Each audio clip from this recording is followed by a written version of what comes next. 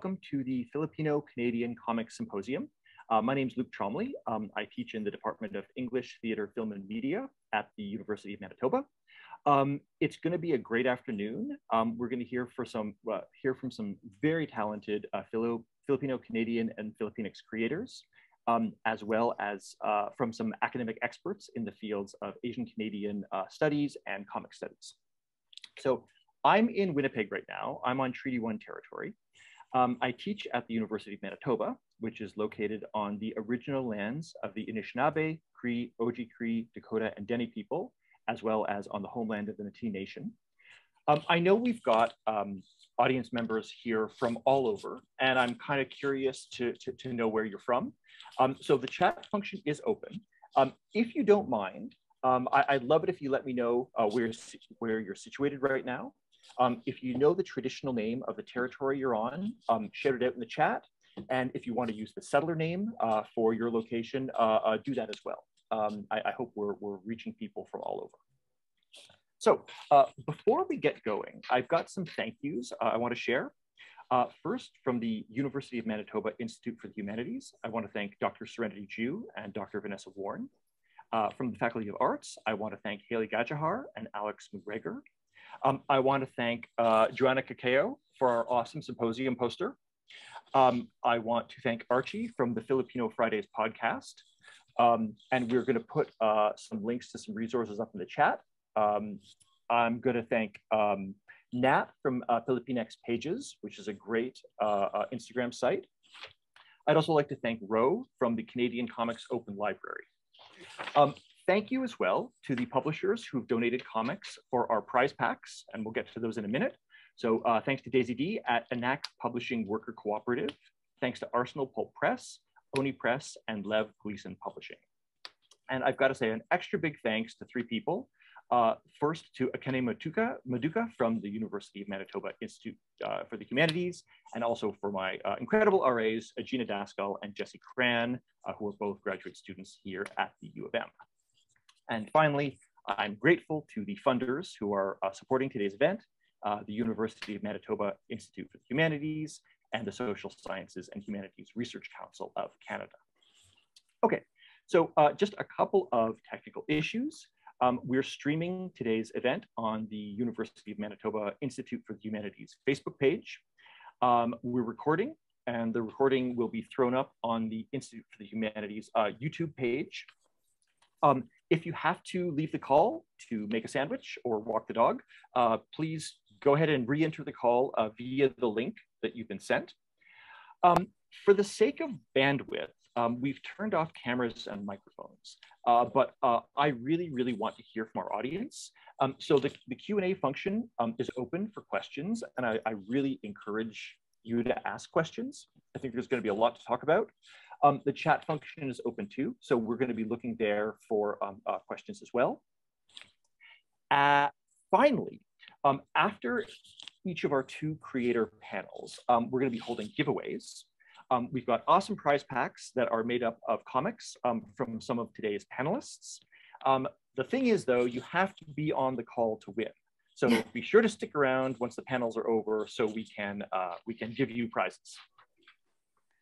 Um, so I organized today's symposium for a couple of reasons. Um, mainly, I'm a really big fan of all of the creators um, who are going to be speaking today. Um, their work is really, really good. And I encourage you to seek it out if you don't know it. Um, at the beginning of each panel, we're going to be putting um, panelists' um, social media information uh, in the chat uh, so you can check out uh, more of their work. Beyond that, um, the more I learn about work by Filipino Canadian comics creators, and, and, and the more I learn about Filipino North American comics in general, um, the more I think it's really an underappreciated body of work. Um, there is a lot of it, and it's really rich and vibrant and, and, and diverse. Um, and I think it deserves to be circulated and celebrated and taught and studied. Um, I, I want to try to help with this process. And so for those of you who are interested in academic criticism, uh, writing it or reading it, um, I'd, um, I'm putting a call for proposals um, for a proposed special issue of an academic journal um, about comics uh, in the global Filipino diaspora into the chat. Um, so check it out if you think you might be interested. Um, at, send me an email um, uh, if you want to talk about it. However, even though I think academia is slow to catch up uh, with this body of work, we're extremely lucky today uh, because the person who I consider to be really the preeminent scholar of Filipino, Filipino Canadian literary studies um, is here with us today, and she likes comics. Um, and it is my great pleasure uh, to introduce our uh, keynote speaker for today, uh, Dr. Eleanor Ty. Uh, Dr. Ty is a fellow of the Royal Society of Canada and is a professor of English at Wilfrid Laurier University. Uh, Dr. Ty has published on cultural memory, graphic novel, um, Asian North American literature and 18th century literature. Um, she was a Fulbright, Fulbright Canada visiting scholar at UC Santa Barbara at 2019, and uh, her work is fascinating. Uh, her recent books include uh, Asian Fail, Narratives of Disenchantment and the Model Minority from 2017, uh, Unfastened, Globality and Asian North American Narratives uh, from 2010, and The Politics of the Visible in Asian North American Narratives from 2004. Um, so I am delighted that she's here with us and I'm gonna turn things over to her. So thank you very much. Magandang umaga, magandang araw. Um, I'm speaking from California where I'm spending my sabbatical, so it's still morning here. Um, Thank you, Luke, for organizing this wonderful symposium. I think it's the first ever symposium highlighting Filipino Canadian comics. Um, so I hope you don't mind. I'm going to be reading a paper because I'm an academic and I can't just speak off the cuff of my uh, top of my head.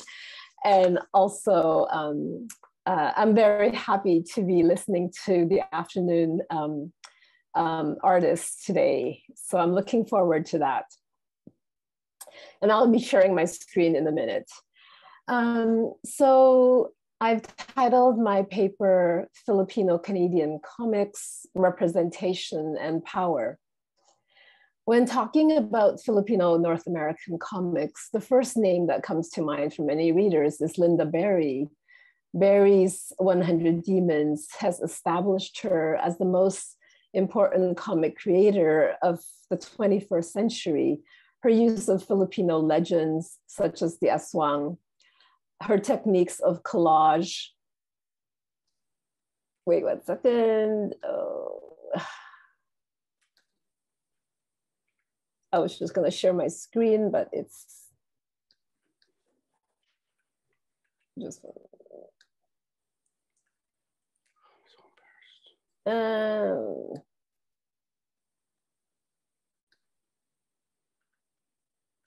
okay, wait, sorry.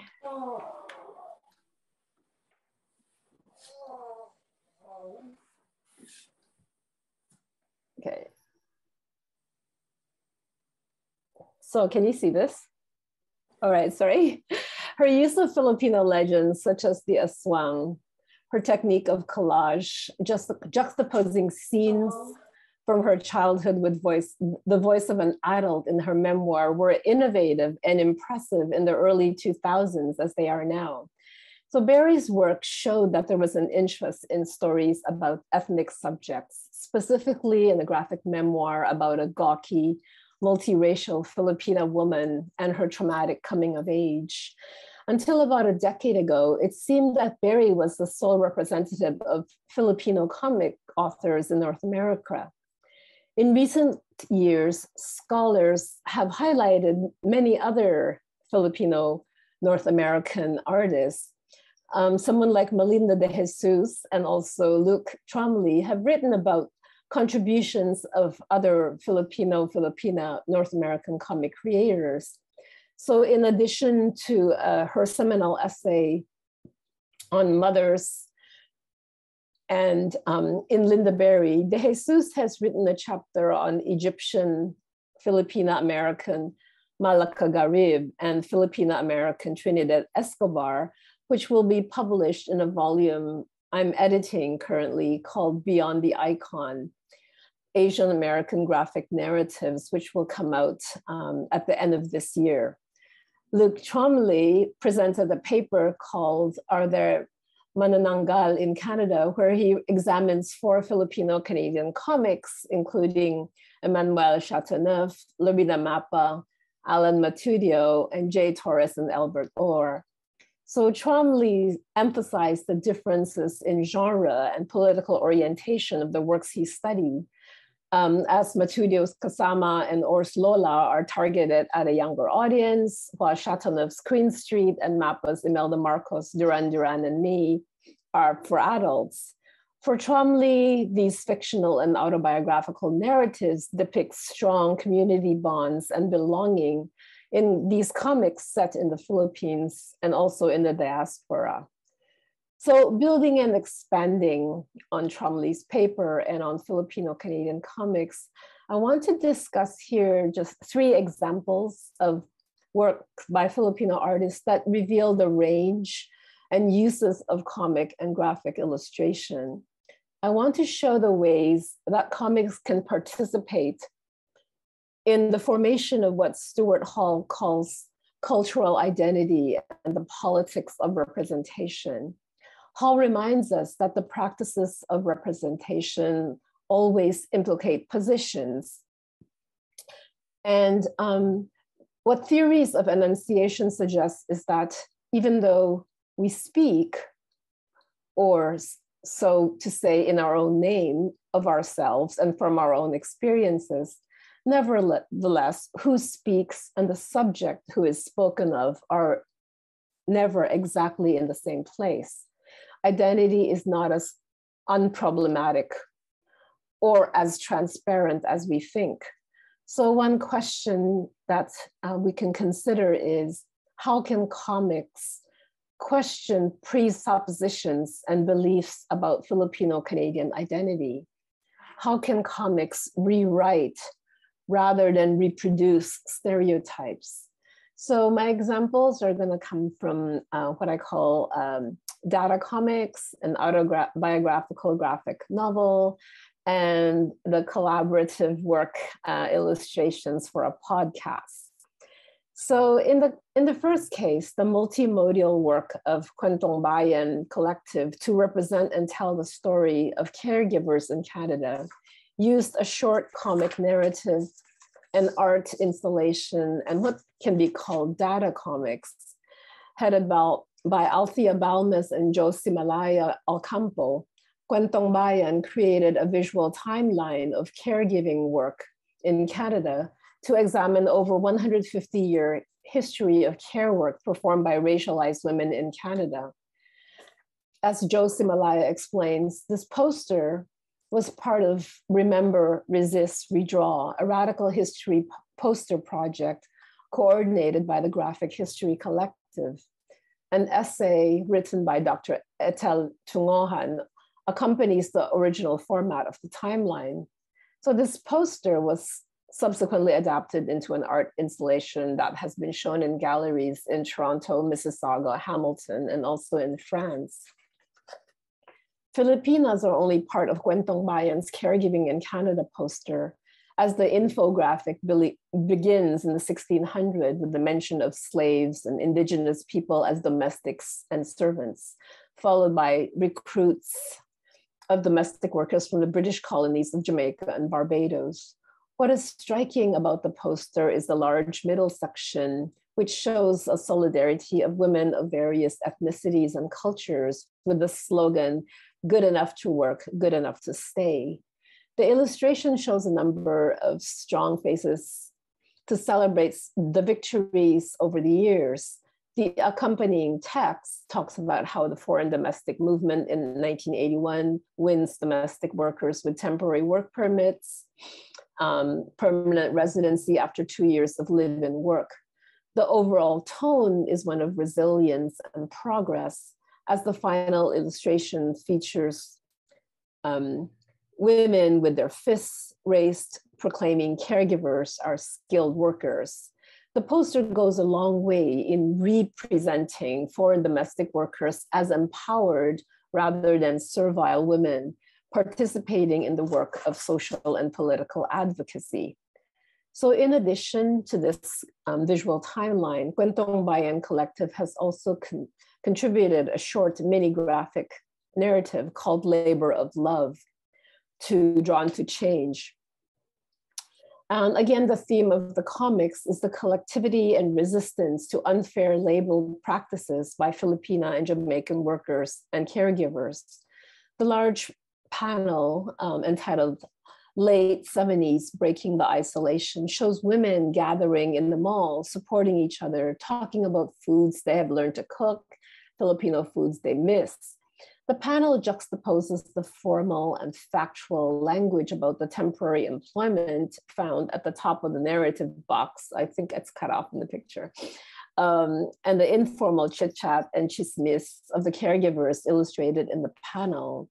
The title, Breaking the Isolation, emphasizes the care and community that the Yayas shows um, for each other, which is different from other studies of Filipina caregivers. So by and large, scholarly work on Filipina caregivers refer to them as servants or temporary workers, temporary foreign workers, emphasizing their liminal status. So um, in stories and documentaries and theater productions, there's a lot of time spent on how these domestic workers are, um, have faced challenges, are abused, etc. So um, this is one example of a very good scholar, Rhacel Parreñas. Um, but what I'm suggesting here is that the representation in many ways highlights the way domestic caregivers are victims of circumstance, servants of globalization. Um, whereas what I was trying to suggest in the comics is that they're represented as active agents of change. So in their study of the effectiveness of data comics and infographic, uh, Song Wang and others found that data comics are seen to be more fun uh, help readers stay focused and overall more engaging than um, representing information as texts or illustrated texts even because these comics draw from traditional um, the tradition of comics and combine techniques from infographic data visualization journalism and other forms of visual explanation so while the mini comic uh, labor of love has lim limited sequencing it could be read as an example of data comic showing a static moment in the history of caregivers in Canada. So these comics are engaging, informative, instruct, instructive.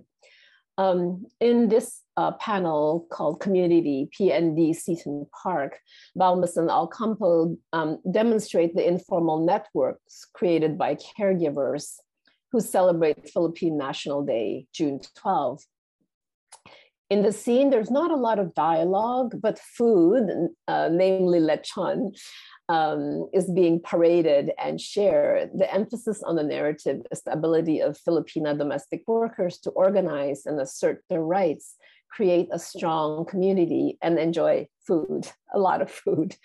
Um, so my second example of how comics has the power to re-envision our circumstance comes from Emmanuel Chateauneuf's uh, Queen Street. So this autobiographical graphic novel is important, one, because it highlights the realities of growing up in a small northern um, town in Ontario, and rather than an urban center. And two, it highlights um, the, the experience the pers- from the perspective of a child. So telling her story from a girl's perspective allows Chateauneuf to illustrate the different ways a first and second generation immigrant handles microaggressions in everyday life. Her drawings, influenced by manga artists, show that in spite of their isolation, the townspeople's attitudes, and the low economic status, the protagonist, Melody, still manages to find unicorns, princesses, and the magic in life. Chateauneuf uses comedy and exaggeration to delineate the disillusionment and challenges of being a racialized immigrant in Canada. Near the beginning, uh, instead of lamenting her loss of employment, Amy, uh, Melody's mother, is defiant and indignant. She has the discourse and knowledge to challenge her boss, who has not paid her the wages she owes. But more importantly, being the ch- only child of an immigrant mother and frequently absent truck driver father, Mel- Melody learns to entertain herself with her fantasies and comics. At one point, when her mother comes to pick her up from the neighbor's house, the scene shifts from her babysitter, an old woman, to what appears to be a jungle scene. There is a bespectacled child swinging from a tree vine with a spear um, in a setting that looks like a rainforest, the dialogue of the two women who are speaking um, is at odds with the visuals, which are intense and very dramatic. Through her graphic novel, Chateauneuf reveals the way a child handles isolation and some social deprivation. Chateauneuf transports us from the mundane to the exotic with very little warning, which is both exciting and a bit jarring. The, the abrupt transition between settings suggests that in Melody's mind, her fantasies are as real as her um, um, as reality, or that's very, or that there is very little distinction between them. The jungle scenes are lavishly detailed. Oh, sorry, my visuals aren't great. Um, um, and with depth, perspective, sound, and even a narrative voice providing explanations so one splash panel with Melody charging at the animal is larger than life with hyperbolic with a hyperbolic monster creature. These fantasy scenes challenge both the boundaries of fantasy and reality and also the cultural expectations of gender. In her imagination, Melody is very much like a Tarzan, fending off tigers. She's not Jane. She is the adventurer, um, not the lady in waiting. So these scenes contrast with the scene, the scenes of Melody in her dance class, where there's a bevy of girls talking about girly things like clothes, hair wraps, and pretty nails. Melody feels excluded uh, from these conversations. And when she tries to chime in, one of the girls tells her to stop butting into our conversation. So the contrast between hunting for tigers and dealing with a hostile group of ballerinas is very telling. These day to day painful interactions remind her of her outsider status and force her to retreat into her interior world. So, in the drawings, you see Chateauneuf represents Melody as the only dark haired girl in the group. And she's depicted um, small and alone uh, in her own panel at the bottom, um, um, uh, apart from the other girls. So the hurtful comments penetrate through the gutter, suggesting the power of language to hurt children. She is no longer like the Tarzan of the previous scenes. So, although immigration has substantially increased the racial diversity of the Canadian population, as Jeffrey Reitz and Rupa Banerjee observed, the feelings of discrimination and racial inequality among children of immigrants are still present. One third of children of non European immigrants report um, having experienced discrimination. Melody's problems are exacerbated by the fact that she's the only Filipina in a small town of mainly Franco and Anglo Canadians. But Chateauneuf also shows how rapidly a child's feelings can change and what a difference one nice friend can make. This is not the stuff of tragedy, but a light-hearted view of um, immigrant children's reality. Not all the girls in the dance class are bullies. Um, in the next scene, a girl offers Melody some candy, and Melody immediately feels a bond with her. And her delight is shown through another abrupt um, scene change where suddenly the plain background of the dance classroom becomes a kind of enchanted forest. The two girls are still doing their ballet exercises, but they're now like fairies or nymphs in the woods. Melody's joy is shattered only when the dance class teacher scolds her for speaking. Chateauneuf's Queen Street shows everyday challenges that Filipina immigrants face in a small town in an autobiographical graphic narrative that's quirky, fun, and full of adventure. Instead of relying on stereotypes, Chateauneuf uses humor, exaggeration, the juxtaposition between Melody and her mother's perspective, between the mundane and the fantastic to depict life at the edges of North American society. It is not strictly a, a memoir, but it does attempt to reveal emotional rather than literal truths. Elisabeth El Refaie notes of autobiographical comics graphic memoirists are much more interested in reflecting their feelings toward their past in an authentic manner than in claiming to portray the absolute truth, openly admitting that this, this necessarily involves diverging from the historical facts in some instances. The gap between the actual and the represented self is further emphasized in some works by the fact that the protagonist does not share the same name as the author um, in an interview, Chateauneuf has called Queen Street a semi-autobiographical and technically a biographical comics. Calling herself mixed and person of color, she observes that though this story is about immigrants, it does not follow the usual trajectory of struggle and then survival. Instead, it's a slice of life um, from a child's perspective these kinds of autobiographical narratives are important because, as Charles Hatfield observes of alternative comics, such projects have an ideological subtext, specifically a democratic one, since they celebrate the endurance and everyday heroism of the so called average person in the face of co corporate culture.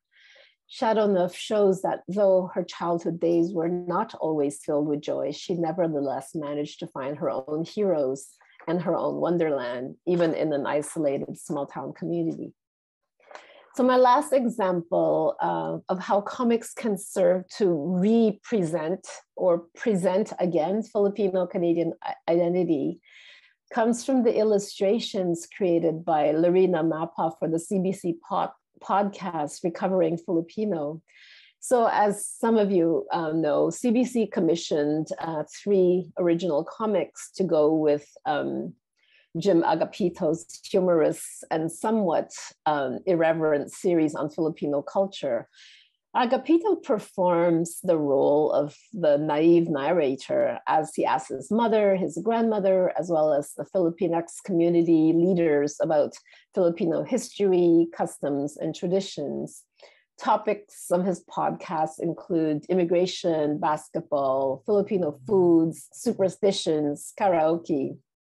The podcast is a work of autoethnography designed for Filipinos and non Filipinos for the purposes of this paper, I want to talk about Mapa's illustrations and how they create a friendly and acceptable persona for the general public.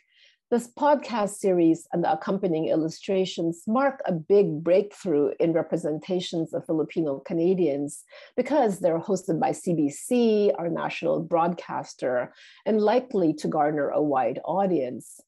So in How Can I Make Lola Proud, Mapa's illustrations are effective because of their iconic and simple style.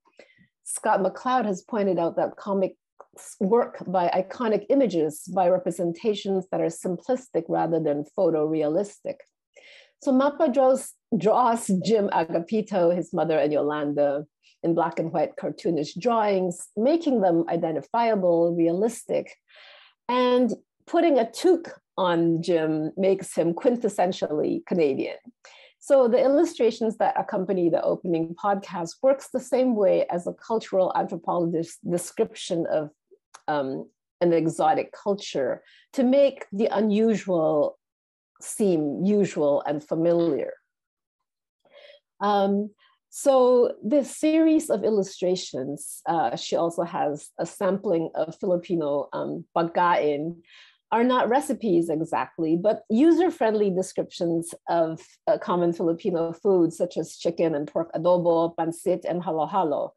These illustrations, like the podcast, serve to render recognizable what some say European Canadians might consider exotic foods by detailing their various ingredients, how to pronounce their Tagalog words. So I'm somewhat amused that Mapa included the brand names um, in her illustrations. She said to make uh, Filipinos uh, identify with them. Um, it was exciting to see halo halo ingredients deconstructed and labeled la layer by layer. Um, and uh, certainly it made me want to have one. Um, one small worry I have is whether the illustrations and explanations of, for example, this, what a balut is, um, might in fact turn into a kind of self-exoticization so the image of the hatch duck is very reminiscent of a fetus. And um, so because balut is the kind of food like fried insects in Thailand or Chinese snake soup, that tends to be included in reality TV shows like Survivor. So I'm wondering if this kind of exoticization um, um, might be problematic. And it's kind it's somewhat exacerbated by Jim Agapito's Agapito's comment um, in his podcast when he says, you know, aside from a few favorites like lumpia, I don't eat Filipino food. So the question I want to raise, and maybe we can discuss this, is how to depict Filipino identity without succumbing to a kind of Orientalist gaze. How do we represent difference and garner respect without the risk of being seen as further othered or seen as primitive.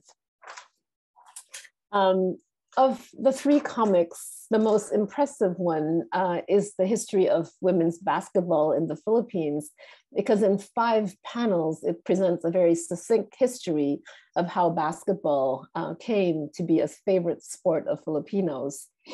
And at the same time, it performs a strong gender and colonialist critique. Um, so the, the title page um, shows a basketball at the feet of a girl wearing chinelas, uh, which was rather cute. Um, we discover that basketball is actually part of American colonial education um, brought by teachers for girls. But afterwards, the sport was banned because it was in the because the women, the girls, were wearing inappropriate clothing. So this panel I found very impressive because it features this oversized Catholic nun rep- reprimanding the dwarf-size uh, Filipina girl with a basketball. So the size difference highlights the inordinate power wielded by the Catholic Church Mapa shows um, how girls were later excluded from the game for decades after that. Um, so she's literally in the sidelines. And um, while boys played this. So while the focus of the podcast is on Philippine basketball, the last panel of Mapa's comics focuses on the first Filipino player in WNBA history. So Mapa's comics um, goes further than the podcast, including includes a feminist and colonialist reading of basketball history that's not present in Agapito's um, um, podcast. They add a more serious side to the podcast and further our understanding of how gender ideologies intersect with religion and politics in early 20th century neo-colonial Philippines. So my, my three examples are somewhat eclectic. I wanted to show how comics can influence and change public perceptions of Filipino Canadians. Fictional and non-fictional comics not only reflect, but can also shape our sense of ourselves, our changing identities in the 21st century.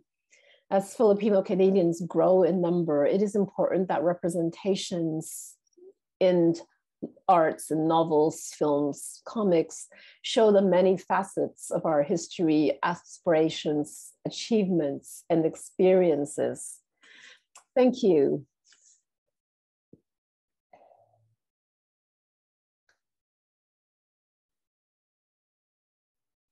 Thank you very much um, for that uh, kind of really sort of uh, uh, wide-ranging uh, uh, survey. Um, you've given us a lot to think about. Um, now, uh, I want to say to audience members, um, the uh, uh, the Q and A is open, and so um, uh, I, I, would love. I know that there there are uh, reactions, uh, and and I think Dr. Ty would be be happy to to, to take questions. Um, I'm gonna I'm gonna jump on the first one. I'll be selfish, um, and I want to um, just sort of think about your your idea about the sort of tricky area between um, self uh, representation and kind of Orientalism, right? And I, I, think this is a really interesting issue because kind of historically, comics have often been full of really ugly and dehumanizing um, uh, racial stereotypes. And uh, this is certainly true if you look at uh, Filipino American history, because there's a big cartoon legacy uh, about um, uh, the Philippine American War. And I mean, I, I, guess, you know, one question I have is, to a certain extent, is this a question of, of, of audience, right? Whether you think potentially different readers might be seeing different things. Um, yeah, I think having a context is important. So um, when when the the Filipino foods were being presented, it wasn't it, it wasn't super, I think, Orientalist, but I but it did strike me as I was looking at that, you know, that um, it might be a little bit problematic in terms of uh, what was being presented.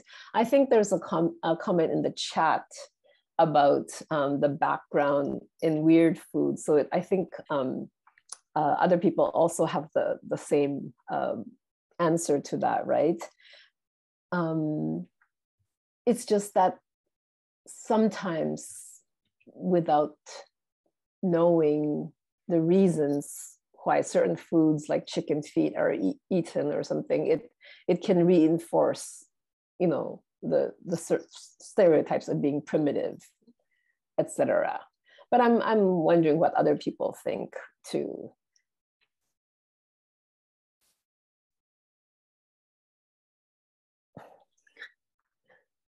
Um, Emmanuelle, why don't you why don't you jump in?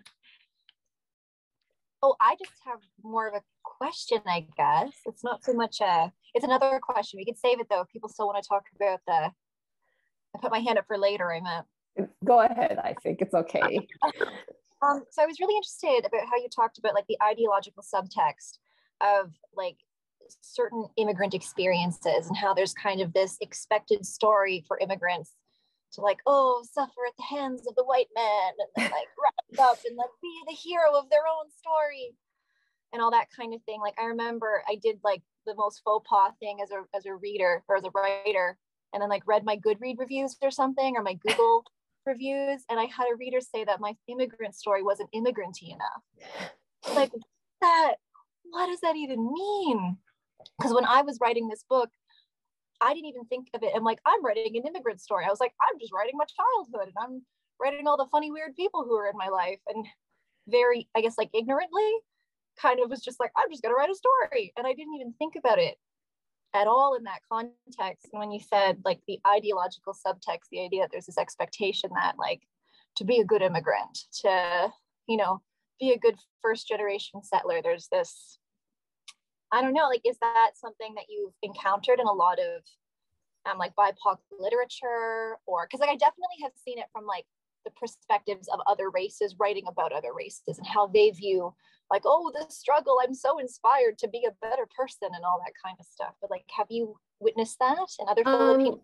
Yeah, I think there are definitely, in, especially in the 80s and 90s, maybe even the early 2000s, there's a lot of stories that depict the kind of immigrant uh, sort of move move uh, assimilation and then kind of eventual success. And and they're usually reinforcing the kind of immig- um, american dream narrative. Um, even the one that i talked about Malaka Gharib, uh, she's egyptian filipina.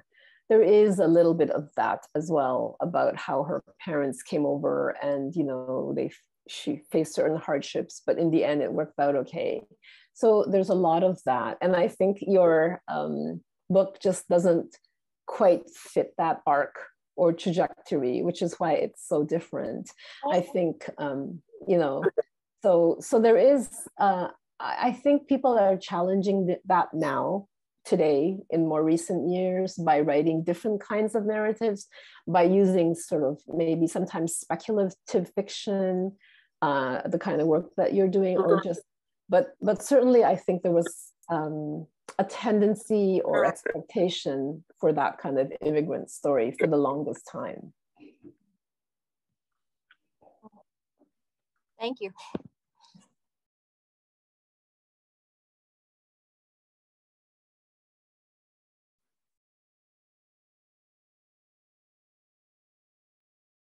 Um, sorry, sorry. Um, yeah, I, one of the things that also struck me about um, uh, your your comments was this idea of sort of the gap, right? And you talked a little bit about the gap between the actual um, and the represented, and and obviously when we're talking about uh, comics, there are all kinds of gaps, right? There there are gutters, there are gaps between images, um, and, and I guess I, I sort of just sort of wonder whether um, these sorts of gaps, these sorts of tensions? I mean, whether you see that in in sort of other comics that you've been um, studying. Um, gaps, as in, I think I think the um, gaps can be used very fruitfully by comic artists to show sometimes distance, but also to show how kind of boundaries are challenged, literally like drawing gaps. Um, in metaphorically, I think gaps um, can also be filled by. I think uh, I just finished teaching a, a Asian American graphic novel course here, um, and I think that students really loved it because I think what it filled in were gaps for them about history, about their own lives that they didn't really read about um, in other um, in other courses. So it can fill in gaps in a very engaging and fruitful way. And I think I was trying to suggest, you know, by that first um, first example, that it was also a way of providing um, information without falling into the the same kind of uh, stereotypes of Filipino women as victims because um, for the longest time, like in the 90s, when you sort of Googled Filipino immigrants or like in the news, it was always about the problems with the whether or not to continue with the caregiver program, the live-in caregiver, those kind of things. But not all Filipinos and Filipinos are caregivers, right? There's a lot of people who also came uh, as other, like as nurses, doctors, technicians, professional workers, etc. And I think we don't see those people's stories that much. I think it's start it's starting now with the comics that uh, you're highlighting today. But I mean, for the longest time when I was growing up in Canada, I didn't really see those stories um, of myself. I, am really glad that you uh, brought up uh, the work by the uh, Kwentong Bayan Collective.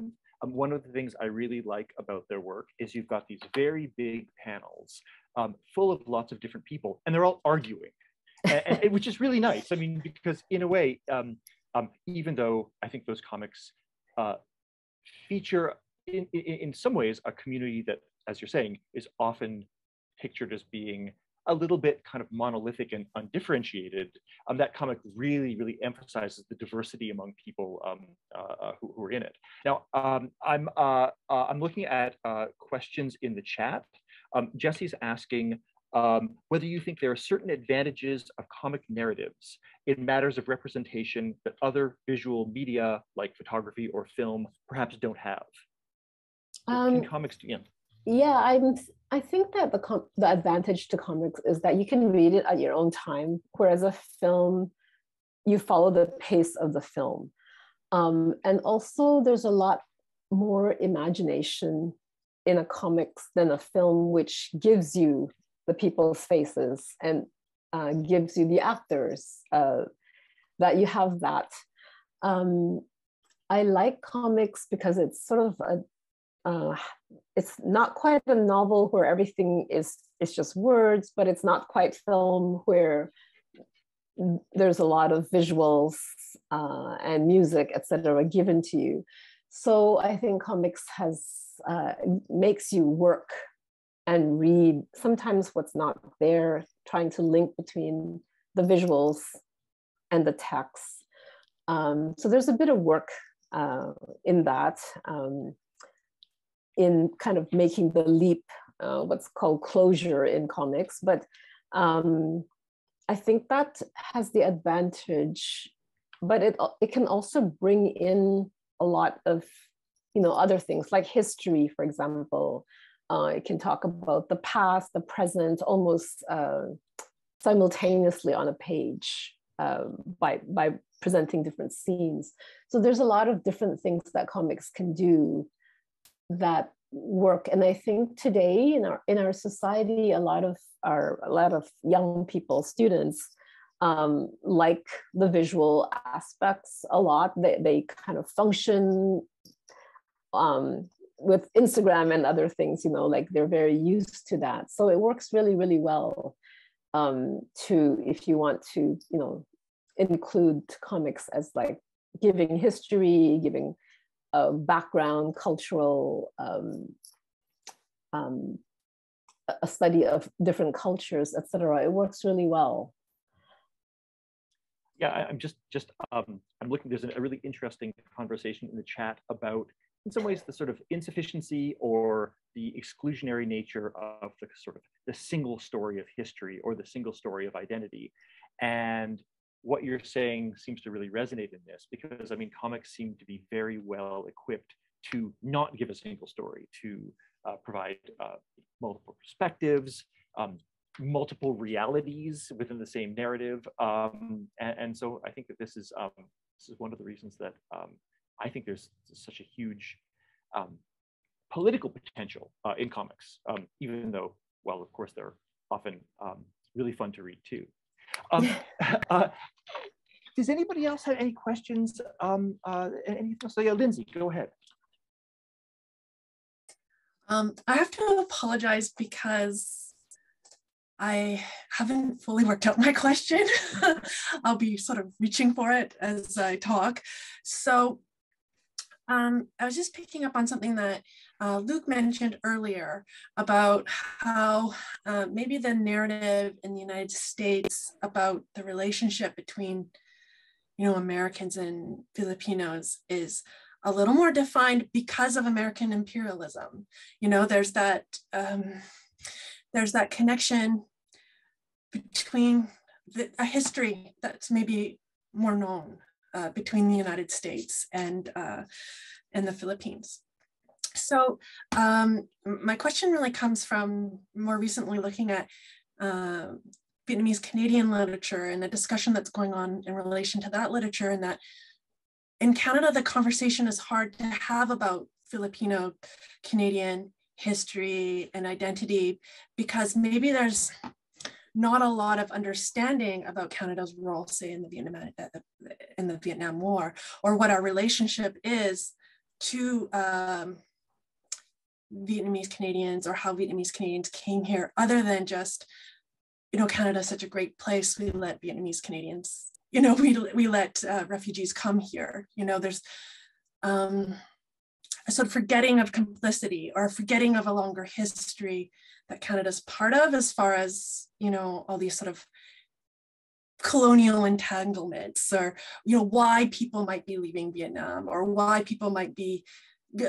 um, forming these sort of transnational life worlds, right, which are present in the, some of the comic books where, you know, families are dispersed and um, there are roots in different roots and roots like R-O-O-T-S, but also roots as in R-O-U-T-E-S, you know, roots in various uh, nations, including Canada.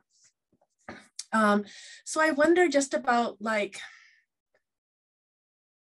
questions about Canada in particular and about the importance of Vietnamese, not Vietnamese, sorry, Filipino Canadian literature here and the conversations that can start here as far as is it harder to start those conversations? And what does um, and how much awareness is there of a history or a relationship uh, with the Philippines, um, you know, that stretches back in time, not just, you know, a recent phenomenon. I, I don't know if I'm making sense. yeah, but, I think I think you're right that there is a difference between the way Filipinos are um, perceived in America and in Canada because America has the colonial history and they study it as part of their um, the history that you know that they did they were in the Philippines um, for 50 years whereas in Canada we don't have that colonial history and our, our but our and our history is more um, I, I suppose and I suppose that was why uh, the caregivers are highlighted so much. It's more recent, and the and the connection with the Philippines has been about um, these caregivers coming. Um, I think the stories are changing, but you know, so so because we're um, the, the racial politics in America are much much starker, I think. Uh, like they they talk about black and whites, and then they talk about Latinas, which we don't really have. But, but in fact, um, I, I, was just thinking about how different, um, even today, right now, with what's happening in Ukraine, that in Canada we we're so familiar with Ukrainians because there's so many Ukrainians. Whereas the, the, the, the population, I was looking this up, the population of Ukrainians in Canada, there's more Ukrainians in Canada than there are in the United States. And yet the United States is 10 times our size. So I guess I'm suggesting that um, some populations, like even the Filipinos, they, there's a lot of Filipinos in Canada, but uh, um, I, I talked about this before, that they tend to be very invisible because we're so, in, in many ways, we adapt so well. We speak English, we don't challenge the religion because uh, like we are Christians. Um, so that even though there's a lot of us, and it, I think Filipinos and um, South Asians are the largest immigrants coming into Canada right now, that we don't um, we're, we're not in the news a lot because we don't create a ruckus about stuff. Um, um, and in many ways our stories are not as prominent like we don't we don't have a filipino canadian tv show um, it's hard to it's hard to start those. Um, you know, I, I think well, it's even hard to have Asian Canadian shows like Kim's Convenience is one, but there's hardly there's hardly any or even Filipino in film. There I can like name two Filipino Canadians. I mean, I think Rena has a comment. Oh, I'll go after uh, Emmanuelle. Emmanuelle, I think, has just left her hand up. Oh, okay. Sorry. um, no, I, I, it's interesting what you were saying about yes, we we have always Filipinos have always blended in North America because we don't make a fuss. We just so adaptable. It's been that way for decades. Um, and it's actually I wanted to make the comparison to comic strip or comic book and comic strip artists uh, in North America, because maybe what people don't realize is there's been quite a long history of comic book artists in North America, Filipino comic book artists in North America. And um, like I know, I think back in the 60s, uh, Marvel and DC went on some, like they found they found uh, one or two and then they went to the Philippines and recruited a whole bunch because there was so much talent there and uh, that's not even known. So, so it's Filipinos who moved to North America, joined studios, created studios, contributed so much to, you know, Marvel and DC, but no one even knew about it. Um, I think that uh, you know those classics illustrated comics that you know Treasure Island and, and and all that stuff. Those were all like created by by like uh, oh what's his name? I used to know their names. Um, so so to me I didn't just know about Treasure Island, but I I, oh I, I don't know about that title specifically but for the classics illustrated for example. Yeah, um, and uh, um, even even like in the 80s like like a lot of these marvel um, x-men spider-man you know they're all drawn by filipinos but again no one is yeah, they're you know, not given credit. well i mean they're just sort of known as the artists of Mhm. marvel comics Mhm. it's not it's not necessarily highlighted and now if there seems to be a lot or like i feel like there's been an explosion in the last few years um, of uh, but that that it's known that it's filipinos i think even when i was writing my book which was a, a while ago now i i mean i kind of live in a bubble anyway um, i'm kind of isolated anyway and i was not like all of a sudden it's like oh my gosh kababayan everyone's here you know? So so i find that it uh, i mean since this is a comic symposium it kind of goes with what you're saying that even since the 60s uh, we've had you know comic book famous comic book and comic strip artists who contributed greatly. I went to a comic book art school in new jersey and uh, run by um, his name was joe kubert who did all this stuff for dc and all the teachers there when they found out i was filipino oh do you know this do you know that they were so in awe of the filipino talent uh, that you know that was in uh, contributing to uh, to these comic books anyway that was just just a little bit of comic history thank you Is there someone? Oh, Emmanuelle wants to talk. I put my hand back up purposely. okay. Uh, no, I was just thinking, um, kind of just it's more of a comment or like a thought based on like the conversation you guys started of the idea that like you know again Filipinos and people from Filipino cultures have really successfully like integrated themselves into the space of others. And like I was thinking, because I've been unpacking this within myself recently, it's been like my 2022 promise to myself that I would start setting much more healthy boundaries with people because I remembered ever since I was a child, like my mom, because again, my father was always gone. So my mom basically raised me in a white space with Filipino values. And it was very Christian, very Catholic, very self sacrificial, very do unto others. Like if you have even one last shred of bread, you give that to someone else because they are more in need. Like you never know like which stranger on the street could be Jesus in disguise kind of stuff. I have so many and you know, so I would all I was always kind of uh, like raised with the like show compassion, show forgiveness, like you know, you're a guest here, and I guess like those kind of immigrant values of like sort of things. So I couldn't help but think like as you as you talked about it and how how so much of that and like is some of that also due to not only you know because you know our religion is like divergent of and it's similar um, like the language and like the food and, and just it's also i feel personally which is just part of the culture of learning to like you know be joyous and be happy and be grateful and to help and not to so much like start a fight but more be like you know what? It's fine. It's called call it quits. It's it's cool. Like i see you. You see me and like let bygones be bygones versus you know, which like the difference now where it's like as much as that's fair and compassionate and good, there is a time to kind of be like, you know what? I think time for me to step up. Anyway, Yeah, yeah. It's it's. I think um, that's. I think what I'm suggesting. There's a, a shift. I think in um, today, um, and it's a fine line because um, you know how to go from kind of being the sort of well assimilated Canadian to to being more visible. Like what what do we want to be known for? And I think that's why I was talking about representation. Um, maybe it's not one thing. Maybe it's a series of things. Um, I think there's another question, April, and then Allan.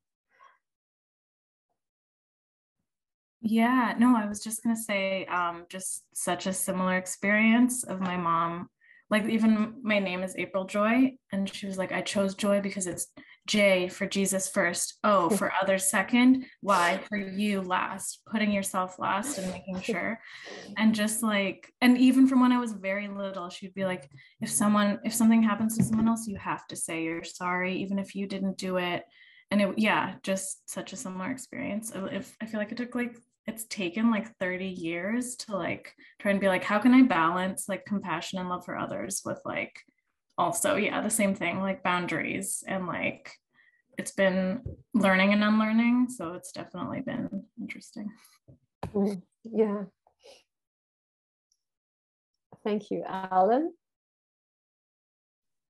Yeah i wanted to comment on the shift um, that we're seeing. And i think this shift is not just in comics right but just in filipino media in general well filipino diasporic content in general. And i think um, a big part of it has to do with just a lot of Filipinos are climbing in terms of our socioeconomic status, right? Like we need to um, understand that for the most part, our migration channel is through um, like vulnerable working conditions. And because of that, it does take a few generations to climb that ladder to get the privilege to just do art, to just do photography, to just do film or comic books. So um, I think we're at the point now where um, some of us do have that privilege. Like I'm one of them, definitely. And um, yeah, so that's just my comment with respect to that. Yeah, I think that's that's really important, the kind of historical uh, time frame, because, um, well, I think earlier in the 60s, there, there were waves when there were nurses and doctors and teachers that came to America and also to, to Canada. But then it was superseded by kind of, but we also had the garment workers for Winnipeg and and that. Um, but certainly in the 80s and 90s, there were a lot of Filipinos brought in kind of sort of more lower middle class or or the the caregivers um, um, were brought in. So it does take another generation to to realize some of these i think what Allan was suggesting kind of artistic potentials. Because even when i was growing up um, i was I, I think i came in the 70s during marcos with my family. But i remember fighting with my mother uh, after like in the, my last year of high school because i said i wanted to take english. And she said there'll be no job for you if you take English, you know, be an accountant. And um, so it was a big fight. And I think that's, uh, and I think a lot of parents uh, steer their children, a lot of Asian parents, Filipino parents steer their children to more practical kind of jobs rather than art uh, related things, which they see as luxuries. How are we doing for time? Well, I, have never been so happy to be 15 minutes overtime uh, in, in my life. Um, and, and, I don't want to cut off this conversation. Um, I, I'm wondering whether people want to take a quick break or whether we should keep going on. Maybe a five minute break would be good. Yeah, yeah. Let's. That's a good idea. Let's take five and come back at, a, at around 2:10, and we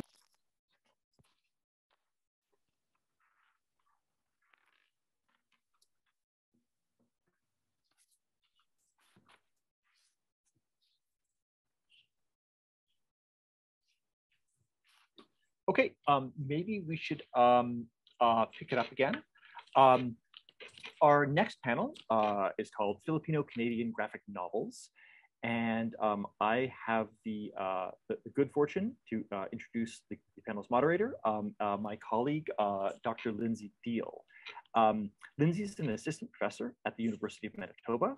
her latest publications have appeared in Canadian literature, English studies in Canada, Canada and beyond, and post-colonial text.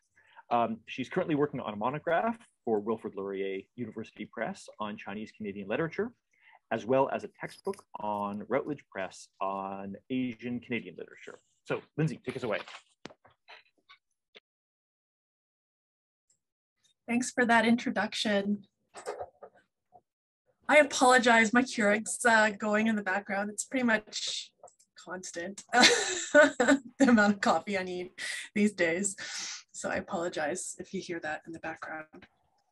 Okay, on today's panel, we have Emmanuelle Princess Chateauneuf, who is a first generation Filipino French Canadian illustrator, writer, singer, songwriter, dancer, and budding actress living in Toronto, Ontario, Canada. Through her work, she aims to dismantle idolatry by telling her own life stories, be they fantastically metaphorical or slice of life adventures in modern times. Her current interests include martial arts, comparative mythology, and spiritualism. Lorina Mapa was born in Manila in 1970 and at the age of 16 moved with her family to Washington, D.C. She graduated from the Kubert School of Cartoon and Graphic Art in New Jersey, where she met her husband, artist Daniel Shelton, creator of the comic strip Ben. Her graphic novel, Duran Duran, Imelda Marcos and Me, was nominated by the American Library Association as a great graphic novel for teens. Lorina was featured on the CBC's list of writers to watch and nominated for the Joe Shuster Award for Best Writer. She lives with her husband and children in Hudson, Quebec. April dela Noche Milne is a Filipino-Canadian illustrator based on the unceded lands of the Musqueam, Squamish, and tsleil nations known as Vancouver. April studied fine arts at Langara College and graduated with a BFA in illustration from Emily Carr University. She is the artist for the graphic novel The Blue Road, A Fable of Migration, written by Wayde Compton. April illustrated the perfect, the Imperfect Garden, a children's book written by Melissa Assaly and uh, was one of the contributors to the Cloudscape Comics anthology, The Witching Hours. She regularly illustrates for the Globe and Mail's first person section and was one of the contributing artists to the anthology Chromatic, 10 mediations on crisis in art and letters. Okay. Um, so now that I have introduced the panelists, um, I really wanted to start a conversation. I think that we're just going to have a pretty uh, flowing um, type format for today. Um, maybe did any of the panelists uh, want to open with any comments or would you prefer me to uh, start by asking a question?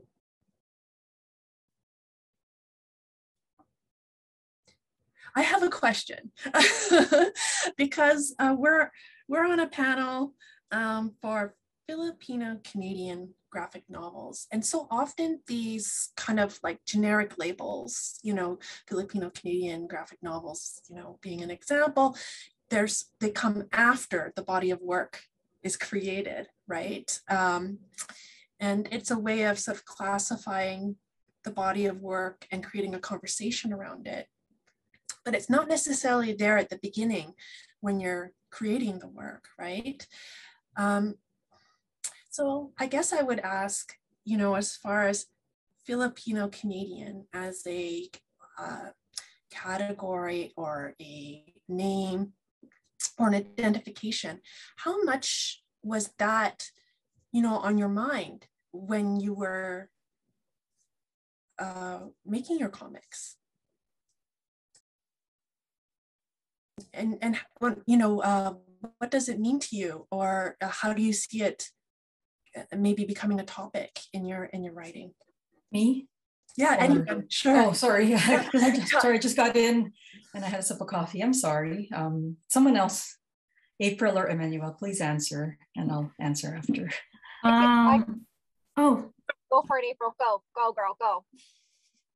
Um I, i'm gonna say i didn't because I, I wasn't writing i was illustrating like Wayde's story um I and the story of the road is like a story about migration. So for me, it was like a really emotional story to illustrate because I was thinking about like my mom who's Filipino or who was Filipino and like my aunt and my grandparents. Um, so I was thinking about them the whole time that I was writing that I was illustrating it. So it was very like emotional for me.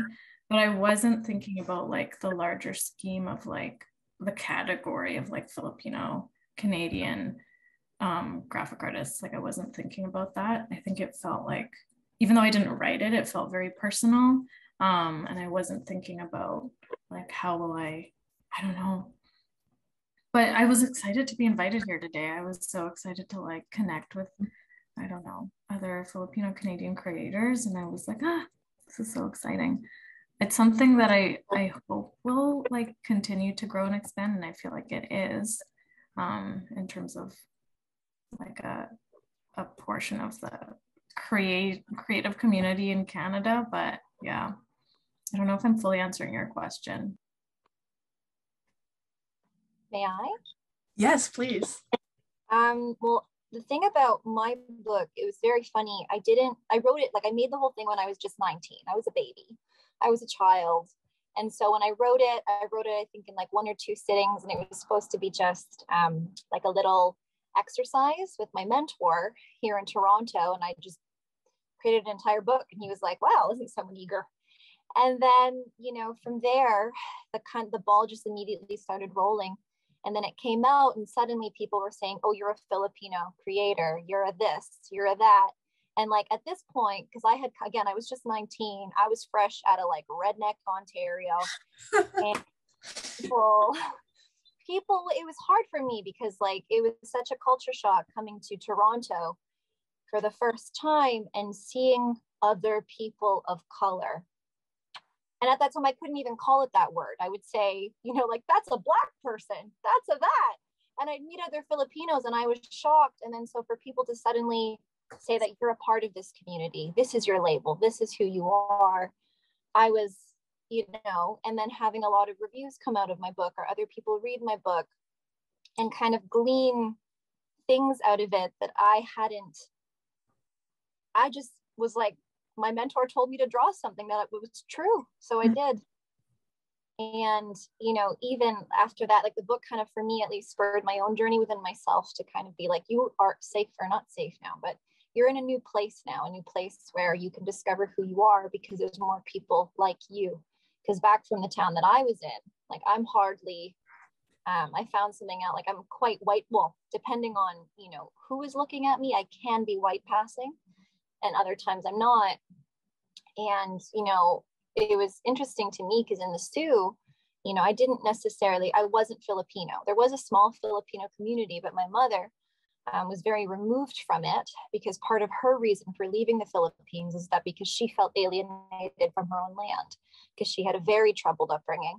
And so, you know, she was an adventurer and like she left when she was a teenager and she moved to Hong Kong, and, which wasn't any better she has so many stories of just racial aggressions and what happened to her there. And, and she met my dad and they fell in love and it was this big little mermaid romance. And then she moved to Canada.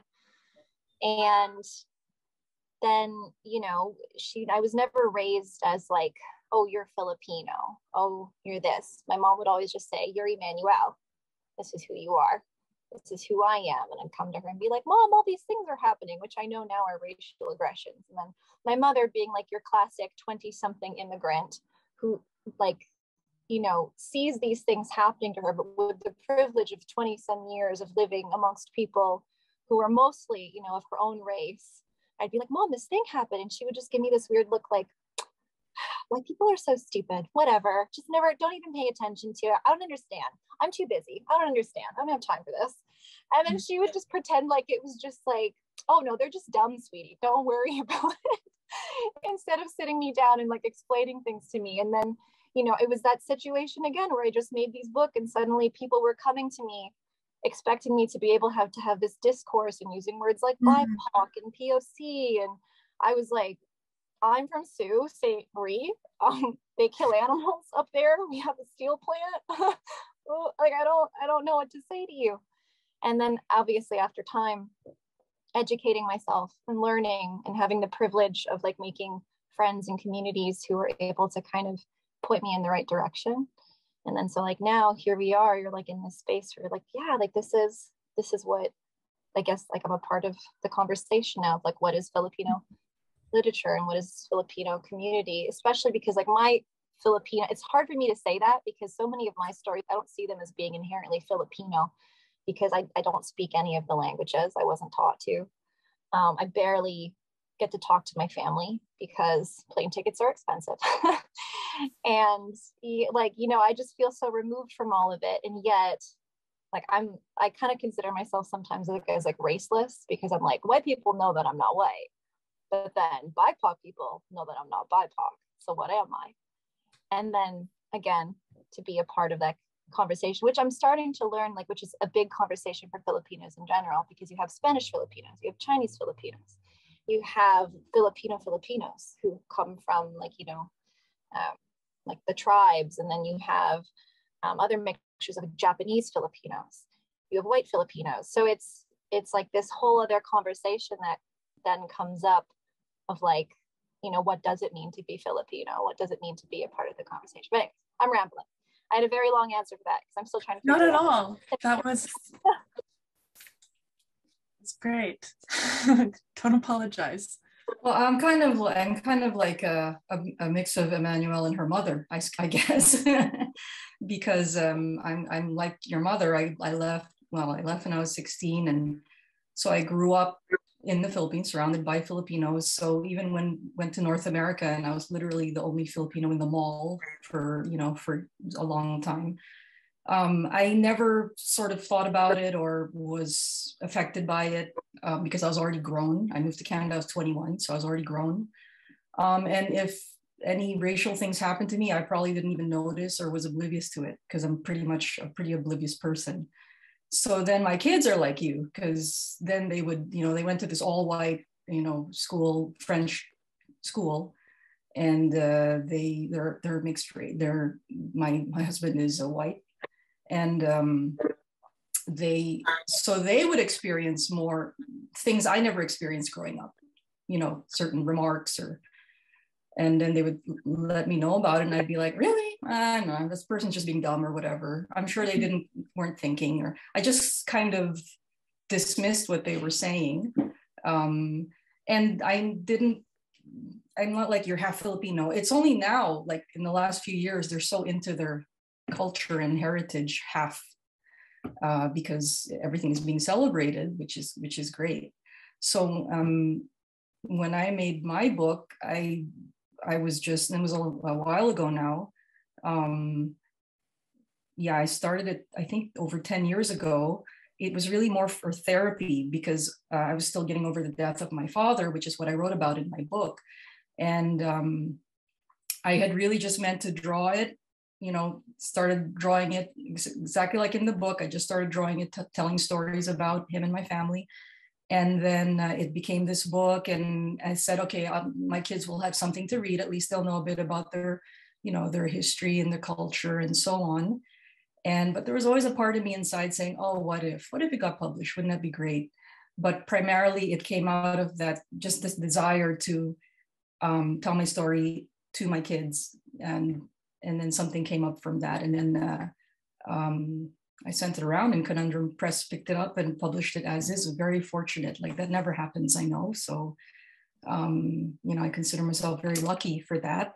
And then all of a sudden now, yeah, uh, I, I, attended this event before COVID, uh, something like this, a Filipino, um, you know, in, in downtown in Montreal, Drawn & Quarterly, they brought all this food. It was organized by, I believe, um, someone mentioned or Eleanor mentioned her, Melinda, Melinda Jesus. Is, is that her? Yeah. Okay. And uh, so she, so I was just sort of a guest, and I was amazed. I was like, wow, because I'm not part of a Filipino community here where I live. I live out in the country, and um, I'm kind of not like unlike unlike many of you in Winnipeg who like are surrounded by community. I'm not, and my whole family is still in the Philippines. So um, I, I do feel a bit isolated. So this is always like a treat, like, oh wow, there's all these Filipinos here. And uh, and it and so th- that didn't really inform my writing um, as thinking of myself in that way uh, at all. It was it came from a much more personal, just trying to tell my story. Mm-hmm. And uh, only now I'm like, oh, I mean, I think I think I've given the same answer as April and Emmanuelle. I, only now I'm going, uh, oh, there is a community, uh, so that's great. Yeah. So interesting. Uh, I've actually been doing some reading on critical theory, and I came across, oh God, I can't remember their names right now. I'm going to embarrass myself. Same people who wrote about racial melancholia. And I remember the first name, the, one of the authors' name is Eng. Anyways, uh, the critical term is racial dissociation. So, anyways, there's this text that I've been reading about um, how there may not be a dominant or readily available language to talk about race or to talk about um, immigrant, immigrant experience. And so um, there's a level of dissociation from one's experiences because they can't talk about it. They don't even know they can't talk about it because there's no language for it yet. You know what I mean? Um, and then um, I mean, this is why I like the like the theory because I'm an English person, you know, a literature person. But this theory sort of says that's why literature is so important because once a text gets published and circulated, it starts a conversation, and then the language starts building up to talk about, you know, what before had been dissociated from or what couldn't be recognized. Um, and so it's just funny because I've been reading this text, you know, and it's very abstract and critical. And then, you know, I hear your responses and I think, oh no, that's, you know, that's the phenomenon of uh, maybe racial dissociation, you know, but then you just, uh, what I found so interesting about your answers is that like you wrote the text and then it's the conversation that sort of came up around the text and the investigations that yourself you know had when reflecting upon the text that maybe you know uh, I was just thinking about Emmanuelle saying, you know, it was only after I started going to interviews and people were saying, you know, you're a Filipino writer, you know, what does it mean to be a person of color in Canada or what, you know, and then just to answer those questions, you had to like look at your book a different way or develop a conversation around it or develop the language to uh, talk about it and then that language um, uh, i don't know what i'm trying to say but i i just uh, really appreciate those answers. Uh, thank you so much for that. Um, i did have a, a question for for april um, because i'm very much interested in the writing process uh, of of the Blue Road. So, did you receive the text from Wayde Compton complete, or was it more like a back and forth where you would get back uh, parts of the text and then illustrate it and send it back to him? And or did did some of his text change based on you know what you had illustrated? How did that narrative develop? Yeah. Um, so Wayde like I had worked with him a couple times before on smaller things. Like I, I kind of illustrated a short story for him and um, I'd known him for a bit. And then he asked if I wanted to work on this. So he sent me the script, um, basically finished, because it was based on a short story that he had written like a while, like 20 years previous. So he turned it into a script and then I said, yeah, like after reading it, I was like, yeah, would love to work on this with you. Um, and then after talking to the publisher and doing all of that, we, I thumbnailed the whole book. Like I, I did roughs for the whole book.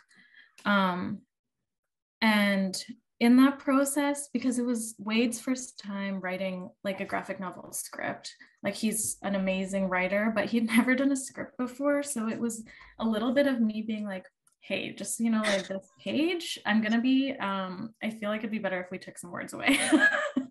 um, just because he'd he'd never had that experience of being like, oh, actually there's a drawing and the drawing says the same thing as the words here. So we don't need the words for this. Um, or vice versa you know like it's such a relationship between the words and pictures. It's like a unique relationship. Um but yeah after thumbnailing and roughing like the whole book Wayde it kind of made Wayde realize like okay we need an extra section here. So there is like a whole extra i think it's like five or six pages um, that weren't there that added like a little bit of context um, for her back, like the main character's background, um, that came about because he saw the whole thing laid out visually.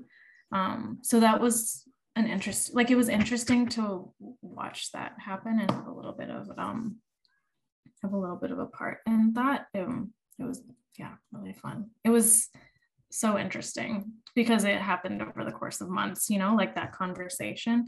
Yeah. Um, yeah. I don't did I did I miss any part of your question? I'm trying to think. I don't think so. I'm just happy when anyone answers. I don't have like I don't have like a, a clear direction in my question. You know, I just really yeah. hear what you what you think. You yeah, know? yeah, no, it was um it was a back and forth, which was nice. Wayde was very like very flexible whenever I would suggest a change. Um, because I'd be like, let's just like not have words here. let's just have a picture. I can relate with Wayde there because I don't really have any um, familiarity with graphic um, novels. And actually, when I did the reading to prepare for this panel, it was a really, really um, eye-opening experience for me. You know, my eyes were like going all over the page, and I thought, oh, I just wonder how these texts get written because the the illustrations are such an integral part of the story. And so I was just wondering about that collaborative process. Um, yeah, it's definitely like a specific writing format. And kind of feel like it's similar to how like if you're writing children's books, like you have to write it like in a specific way. You can't approach it the same way that you would like a YA novel or like, I don't know, adult literature or something. But yeah. Um, I have a question here in the chat um, about about in writing your your comics. I should call them graphic novels. Sorry. Um, did you feel a desire to rebel against the label Filipino Canadian or against another label or you know against being labeled different or other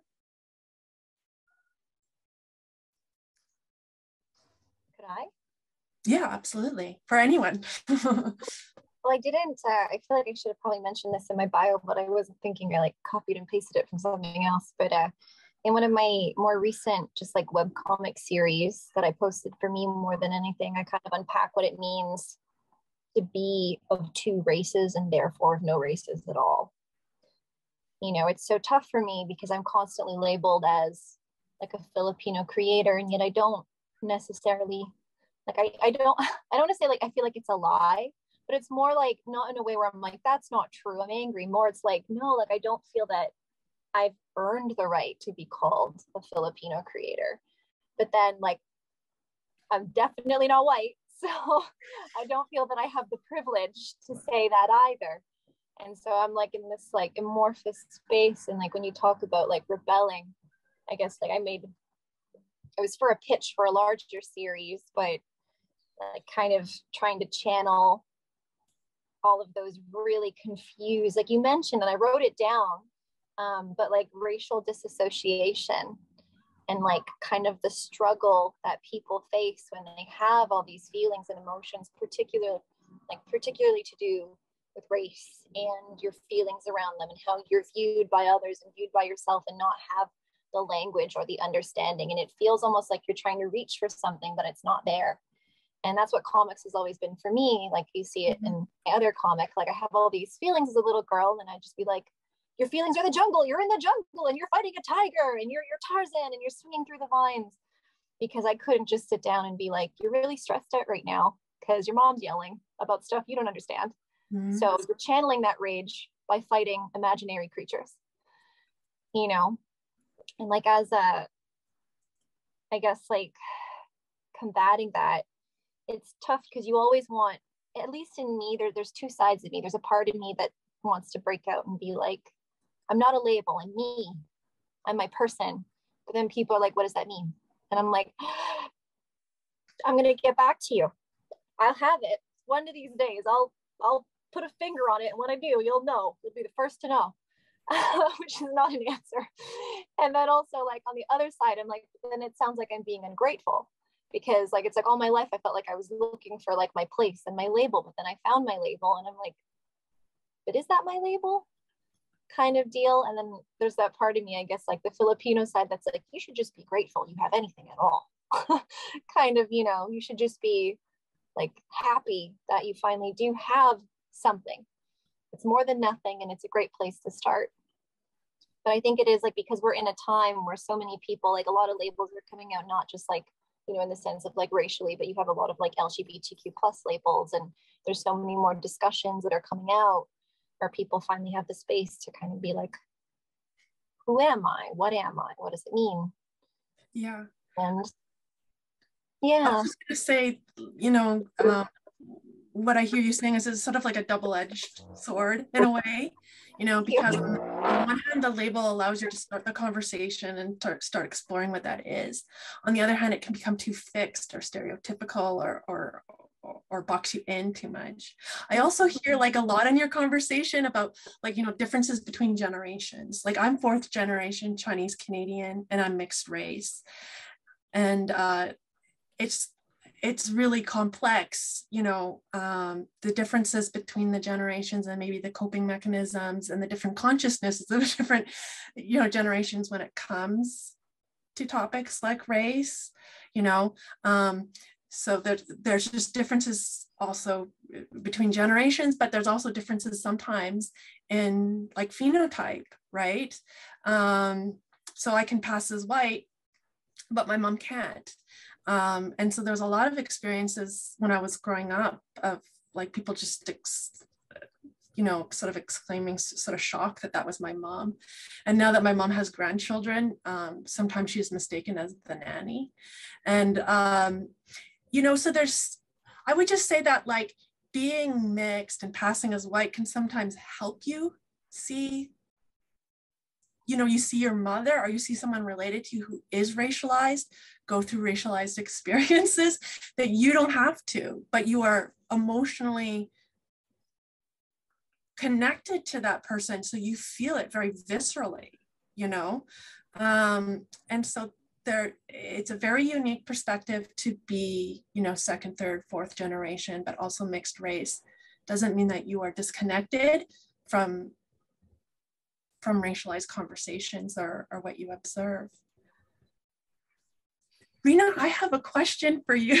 Oh wait, can I can I answer oh, that? Of course. Okay. Yes. Of course. Sorry. Please respond. I, I love I love what Emmanuelle said because, I mean I, I I I feel the same way. I'm not mixed race. I'm I'm all Filipino, um, but I've never.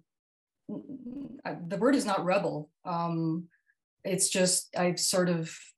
It's like my hair's you know my hair's black or whatever and and it's like i forget about it. That's basically it's like i'm reminded only when people remind me. Um and that's not a bad thing. I'm like oh yeah it is my hair is black. Oh yeah i am filipino. Oh yeah yeah and that's honestly how i've sort of felt all my all my life ever since i moved to the states. Even when we were living in the states and i went to i started off going to this public school in virginia and um not many you know asians there. But I don't know. I just wasn't as maybe sensitive to that kind of thing. I would just went to school, and if people said something, I was probably oblivious to it. so I mm-hmm. mean, that's just kind of been my life, and and and it was just like that. I lived, lived in Canada, surrounded by white people in my neighborhood. Didn't never thought about it. Honestly, just sort of I'm just me, and my husband and I don't. I'm just me to him. And then and then I went through that whole traumatic thing when my dad died. And then, ironically, because I wrote a book about my life in the Philippines with culture and politics and all that, um, it, it was almost like the universe's way of, of forcing me to not acknowledge, because it's not that I didn't acknowledge, it's just I didn't think about it. It wasn't, it wasn't important to me. It was just there, something I took for granted. Um, my heritage, and uh, I still do to this day. Um, I'm just it's it's just like a part of me that's not the most important part, if I can say that. Um, I know it is to many people, which is also fine. you know, but to people who it's not the most important thing, just like if your your um, your gender is not the most important thing about you or your whatever, um, that's fine too. And and I, I guess I'm kind of rambling on like you, uh, Emmanuelle, but but I guess I just feel like it's not that I don't want to be labeled. If someone labels me as that, I don't mind. It doesn't bother me.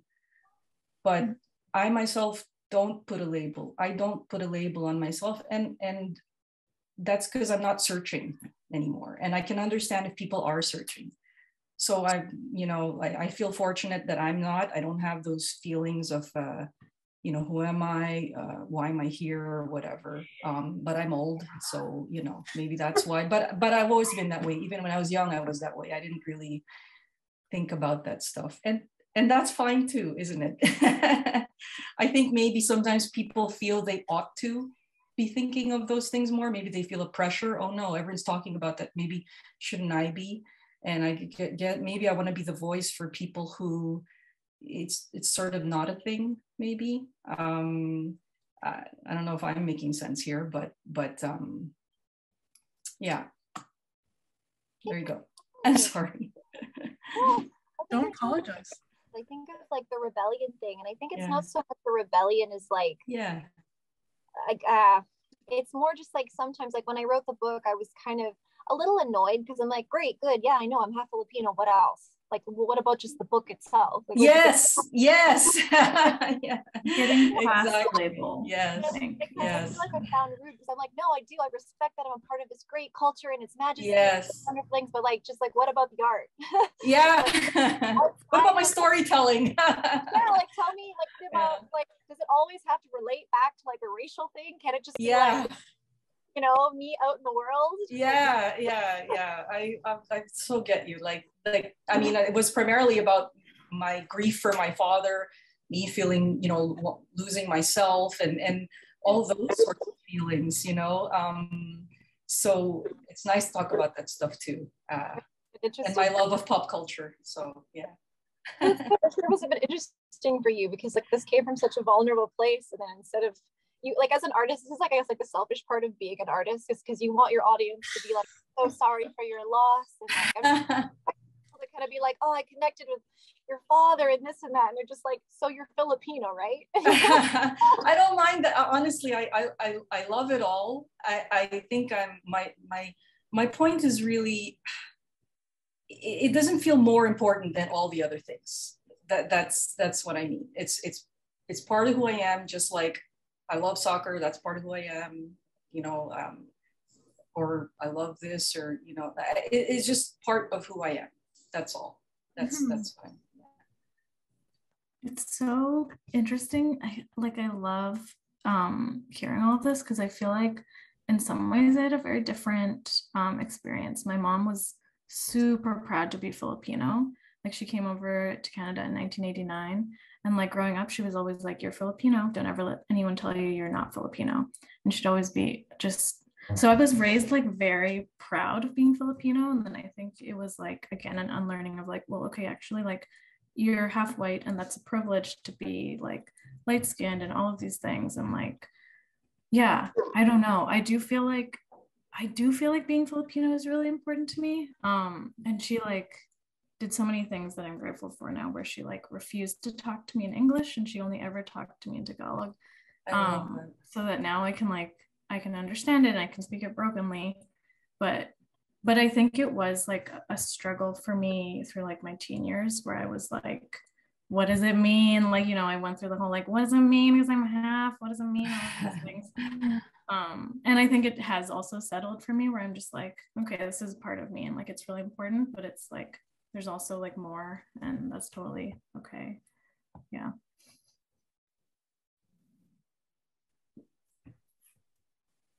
How much time do we have luke well, um, let's see. I think we are scheduled to wrap up at uh, at, at three fifteen, but we could end a little bit earlier um, if, if we. Oh no, I have another but, question. But, but I just yeah, don't, yeah, yeah. I just don't want to dominate everyone's yeah. time. But if there's more time, I will take it up because I do.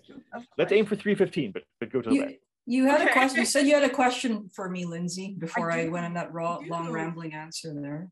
No, it's not rambling at all. I find it Okay. very fascinating. I almost feel like on the fly, you know, there's this kind of, you know, we're just really getting a sense of the complexity to the, identification of Filipino Canadian, you know, um, and that, um, and and what it means, you know, um, even to uh, different people in the same community, you know, um, and and there's differences and yet you know similarities all at the same time. And i think that's what's so interesting about the conversation and and and the and how fluid it is. But i did have um, a question um, because when i was uh, reading your book one of the most striking um, parts of it for me was this description of like the family and how they lived in a gated community.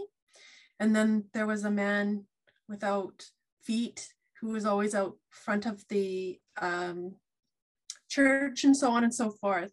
Um, and and anyways, there's this commentary in the in the book about, I guess, like a sort of awareness of privilege, awareness, you know, that that life can be very hard or um, that there are very different realities even within that same area that this character is growing up and then it sort of flashes forward to like the future and this uh, character living in canada and her frustration sometimes with her her children. Like maybe i'm not raising them right because they're complaining about having to go to hockey twice a week and uh, and i'm just wondering about that because there's an interesting dynamic there between generations and um, and, and there's sort of conversation about privilege and knowing what you have. Um, but then, uh, you know, there's a, I feel like there's a history to the Philippines there that I don't really know. You know what I mean? Uh, when I, I, that, that also interests me, you know, about um, just the, the way that a neighborhood, you know, might be composed, um, you know, so Yeah. I, I, I don't really have a question there. I'm just throwing things. well uh, i guess i guess um when i wrote that as i said when i wrote it it was it was really primarily for for my kids to let my kids know my story. Um but also very aware that it could you know it could have a, a, a larger audience. And it was to point out uh, that there there was a difference in my upbringing as to what the maybe you know a, a lot of uh, other Filipinos upbringing, and just just to you know, I mean to bring it up because my experience is, is not maybe um, as similar to some, um, but it's still my own personal experience. So I have to write and draw about it. But it was it, it was to also point out that I was aware, um, even as a child, that uh, I came from a privileged background. Um, unfortunately, now, for uh, happily, the country is is uh, I think the middle class has grown. But when I was growing up, it was a very small middle class, uh, mostly upper class, and very large, you know, um, uh, a lot of a lot of poverty, which is why you have all these immigrants who had had to move abroad, you know, to make a better life for themselves. Um, but at the same time, that wasn't my story, and I could only write about my story. Um, and uh, I didn't want to be just ignoring that part of our country because I I had a privileged upbringing, so all my experiences in my country was not, you know, were yeah we I, I went to party even even even the whole um, being involved in the politics. Um, my parents, my relatives, we had a different version. Even when we attended rallies, it was from a different point of view, and I just felt the need early on in the book to kind of make that distinction um, just to show an awareness of of that.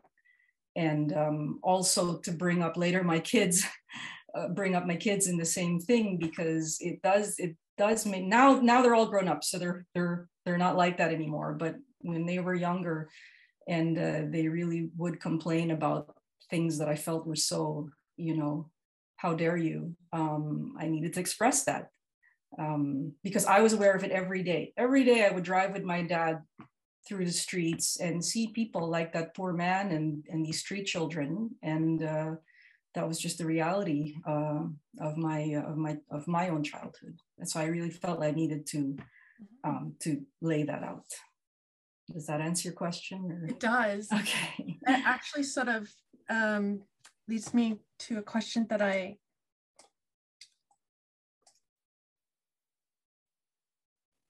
Oh, sorry. I think I'm missing things in the chat. I'm so sorry. I'm so just taking over. I'm like, I have another question. There's a question here in the chat um, about uh, for April and uh, for everyone actually on the panel about what you're going to do next um, and what kind of projects and stories you're doing.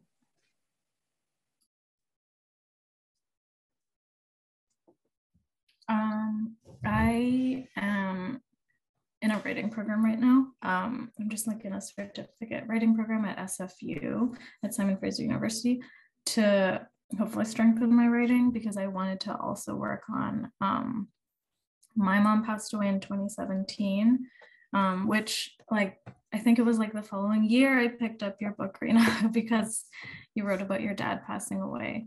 Um, but yeah, I would like to work on a graphic novel about visiting the Philippines for the first time in like 24 years. Mm. I went back with my family um, in 2019, and it was like a year and a half after my mom had passed away. So it was like a really emotional experience because it was like visiting the motherland, but like without my mother. Um, and I hadn't been there since I was four. Like, and the last time I was there, I was with her. So I'm hopefully like I'm I'm working on turning that into a script because I'd really like to I don't know talk about my mom and my work and like talk about my family. Um, so yeah, that's what I'm hoping to be working on and I'm beginning to be working on.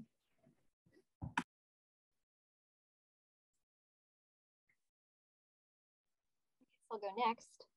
Um, I'm currently working on like a couple of things. I have a, a series that started off as um, an erotic comic series because I was really interested in how those worked, kind of thing, and that kind of storytelling. But it's called Princess Bunyi, and um, it's about you know being like a Filipino woman and dating, and just like all the craziness and the comedy and the silliness of love and romance, but within interracial romance, um, especially kind of like an awakened, educated way, um, and how to navigate that as well as like you know self-worth and self-love and, and at least for me unpacking like the the filipino nanny stereotype and like the exoticized woman stereotype. Um all stuff you know that i'm just kind of working through and like fun things more life stories. Um, also there's like a i have a sci-fi series on webtoons called dune hunters again it's about like the struggle of like mixed and being raceless. And in my time i was very very lucky to be an international high school teacher for a hot minute and where you know i was given the care of all these um, immigrant kids who were in canada for the first time. And although they had the very unique experience of being the 1% like they would come they would drive to school in their lexus and they had their $2000 versace backpacks they're still teenagers, you know, and then just kind of getting to be like the cool adult in their life that would unfortunately then they're like, hey miss, this thing happened to me. And I'm like, oh, that's a microaggression. Let's talk about that. And, you know, doing that. Um, as well as I also have a writing mentor similar to April, because I'd like to strengthen my writing skills and just get become a better storyteller and um, hopefully uh, I would like there's the the scene you saw in Eleanor's um her uh, oh my god her PowerPoint of Melody in the jungle. Um, it's always been my dream to do my own like Filipino Tarzan. So uh, yeah, well, because I just as much like Tarzan, I grew up reading it. It's from the 1800s, guys. I'm sure you hate that book, but it is a very timely piece of literature. Um, but like for what it was at its time, I remember growing up, and then later I was like, "Ooh, this is this is a not not a good book." But I'm like, well, what if I were to do it from the perspective of someone who has the privilege of a, you know, who comes from a culture that is within the jungle, that is within the forest, that has such a rich cast of horrific, horrific mythological creatures and fun stuff. So anyway, someday working on it. Oh.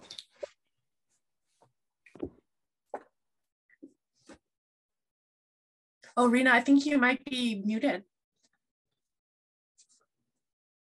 Ah, thank you. Um, I am working on a, a, a, book for middle grade readers with more stories, I suppose. Um, but I mean, I don't know if I'll find a publisher. That's the thing about this industry. It's it's very uh, is very competitive. So hopefully, hopefully I'll find a publisher for it. I'm not done yet. It's called Animal Stories, and it's uh, about stories again from my childhood um, growing up there. Um, and each of them is about uh, an animal in our lives. Uh, and um, anyway, fingers crossed, we'll see. And uh, I'm working on something for an anthology as well. Um, and uh, I have a couple more stories in me still, so uh, so we'll see.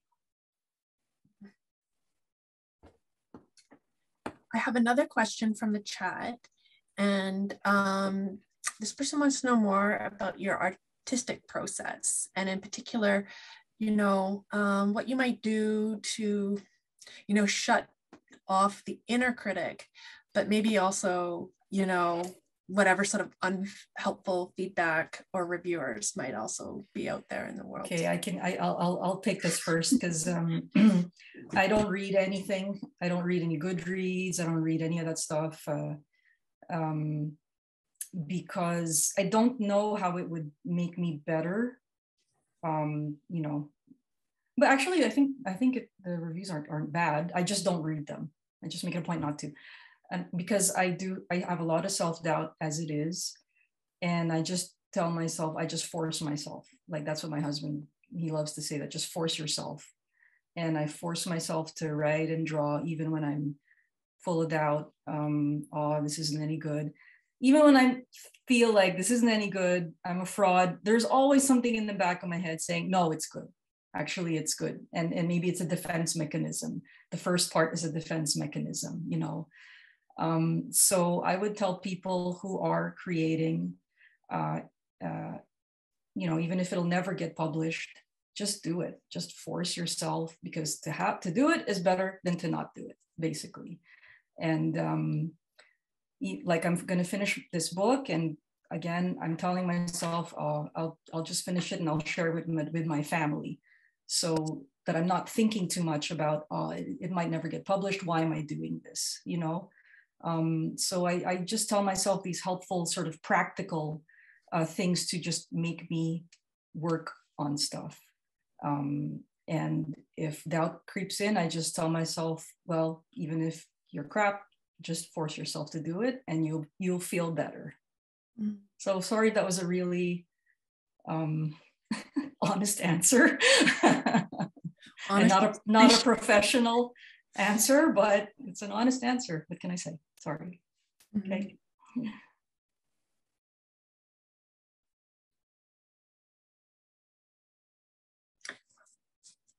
let me check the chat i don't know if i have anything to add. I I think I'm like my own biggest critic also. So I don't know. I feel like I do like reading feedback because I'm just like, okay, like where can I get better? Oh, this is like validating everything I thought about myself. um, I, I don't know. I feel like I use anything to try and motivate myself to be better, but it's also it's a dialogue. It's an ongoing dialogue with myself. if that makes sense. Um, I guess for me, I've kind of I have a very interesting relationship, I guess, with creation. Um, this is probably like the religious Filipino side coming from me, but it's you know we were given the gift of creation so that we could mirror back to ourselves, you know, our, hurts and our happinesses and and just life. And I realized, you know, so much of my literature, I was always it was always coming from a place of I'm like, oh, I'm teaching things to people, I'm, I'm saving them, and then I realized I'm like, no, you're trying to save yourself. So for me, even if my work I feel is like horrible or I have all these horrible thoughts. I always remind myself, I'm like, but is it healing you? Are you healing? It doesn't matter what it looks like. It doesn't matter how it reads. It doesn't matter if there's 89 spelling mistakes. My first book was published with 89 spelling mistakes. Uh, the, the, editor accidentally sent the wrong version to the printing press. Oh, no. it was so embarrassing. And I was just like, I'm 19. Because I was like handing it out at the convention and there was 89 visible spelling mistakes inside of like the first call. Oh, it was really, it was terrible. And was like your worst nightmares have come true. This is what bottom feels like. It's only up from here. but um, yeah, I just I keep telling myself, I'm like, no, if you're happy and you feel that you're learning something and growing from your own work and it's teaching me, it teaches me about my life, then whatever other people think it doesn't matter. It's like what Rena said. She's like, oh, I'm going to share it to my family and my mind. I was like, who do I want to share my books with? And I, there's like, there's no one because I'm still, you know, I don't have kids yet or a husband. And I was like, I want to share my books with myself. Like, I'm excited to write my own books so that I could read them because that's exciting. So if I could do that, like, that's a win.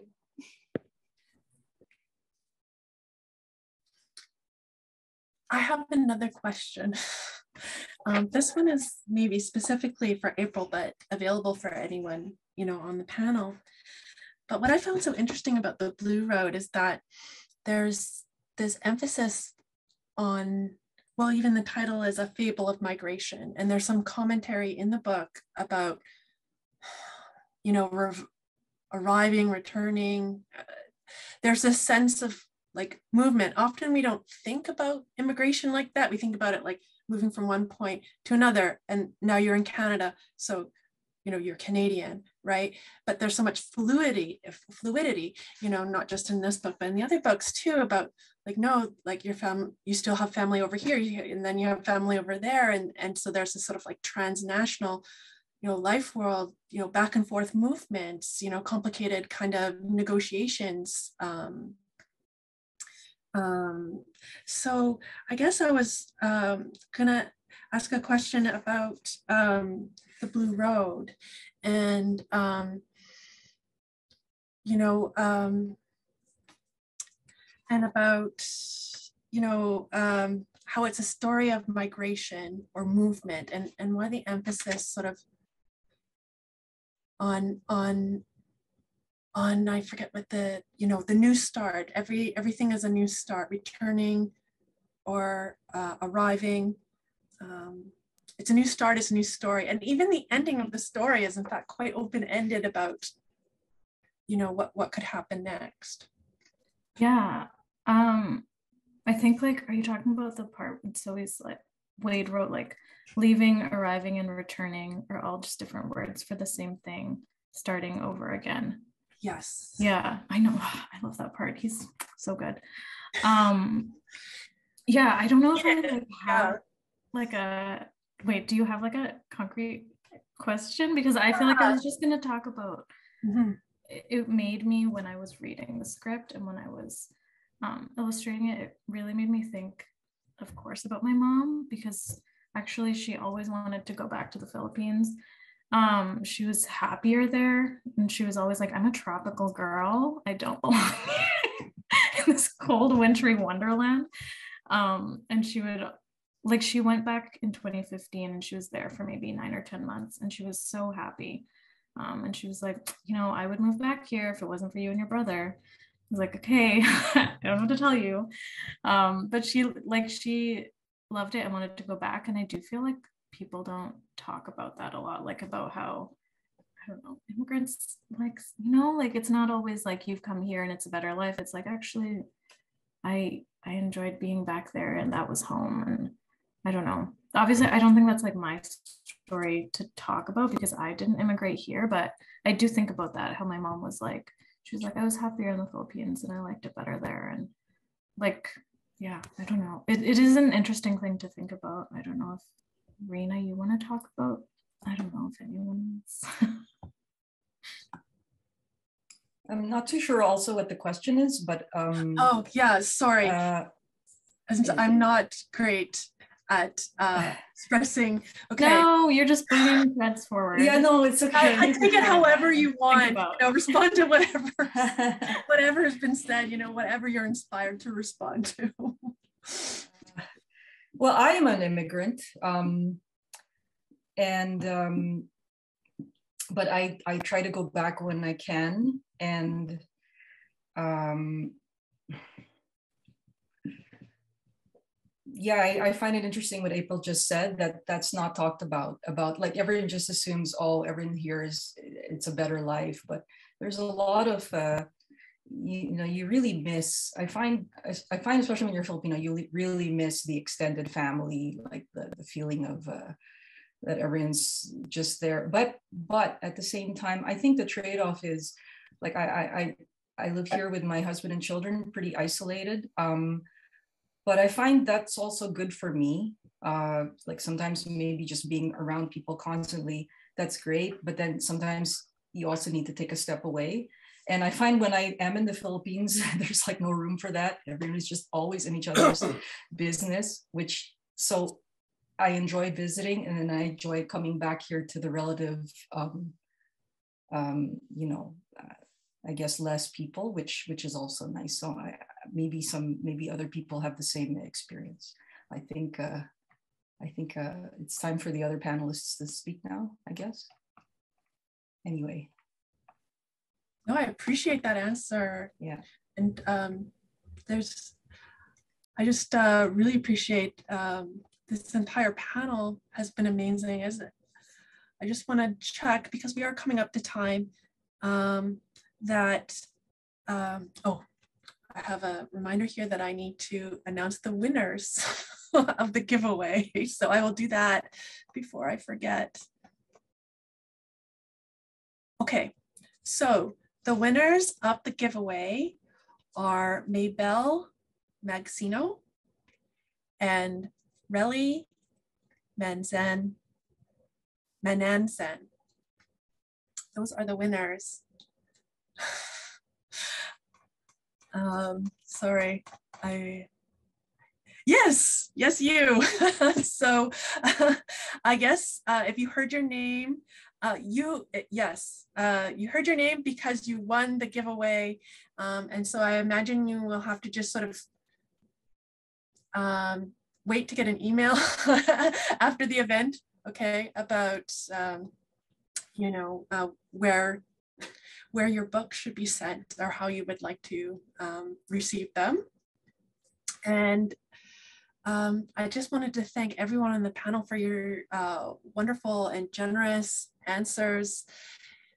It's just been like a really amazing um, discussion for me. Um, we do have a couple more minutes if there is anything you just want to say, you know, in closing.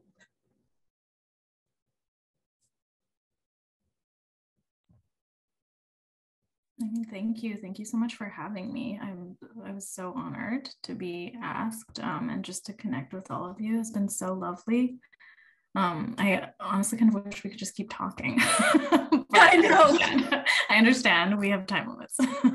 I think there's something about, you know, being a creative writer and a critical scholar that you need like a certain amount of space and privacy.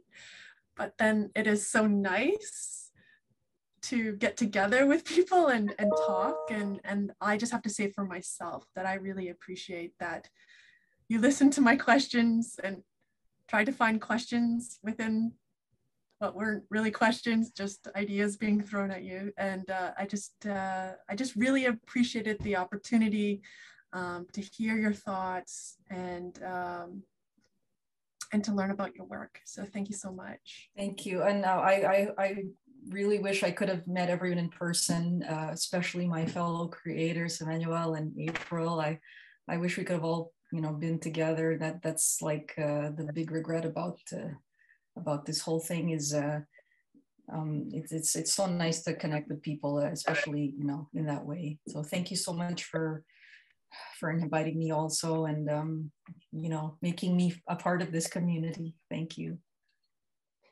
Thank yeah, you. I, I also want to say thank you so much. I mean, despite my comments of talking about how I'm like, oh, but like, come on, guys. Me too. At the same time, it's still like it is. It feels so good to kind of you know be a part of a community where you feel very seen and yes and it's it's really really wonderful because a lot of the things people talked about they're thoughts that i have in my head that i don't you know tell anybody and hearing other people yeah Me too. I'm not crazy, I'm not crazy guys. Um, Me too. so wonderful and so good to yeah. You so you started it. No, but it's still it's so good to it's so good to talk to everybody and even just be able to talk about that experience where you're both very grateful to be a part of something that's like, but there's it's like the little mermaid, you know, like, but there's more questions. There's still so much more out there. yes. So, yeah, yes. I'm really, really grateful to be here. Thank you so much, Yeah. everybody. It was Maybe so we'll wonderful to one meet you. April and Rena. Yes. Yeah. Same here. Take care. Bye bye. Thank you. Uh, so thank you, everyone. That was really amazing. I, I- I really enjoyed uh, uh, listening to that. Uh, congratulations to Relly and uh, Mabel uh, for uh, winning, uh, the, being the big prize winners. Now, why don't we uh, take a break? Um, let's uh, turn off our cameras and uh, have a sandwich or something, and then come back at 3.30 for our second panel, okay? Okay, thank you very much, everyone. See you soon. eventually led to manga and graphic novels. Um, so it's kind of been a thing that's always been there, but never, I never chased after it until recently because I didn't really know that I could do it. but uh, yeah, it's just mainly been a childhood dream essentially.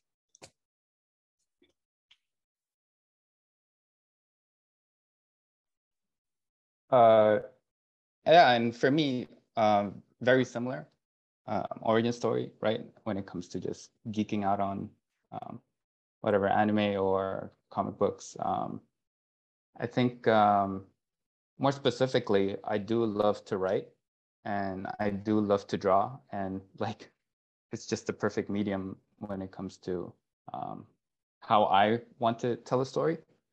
Um, also, just um, what's really special about the comic book medium is um, panel composition. Like that's such a unique thing that you don't see in other mediums.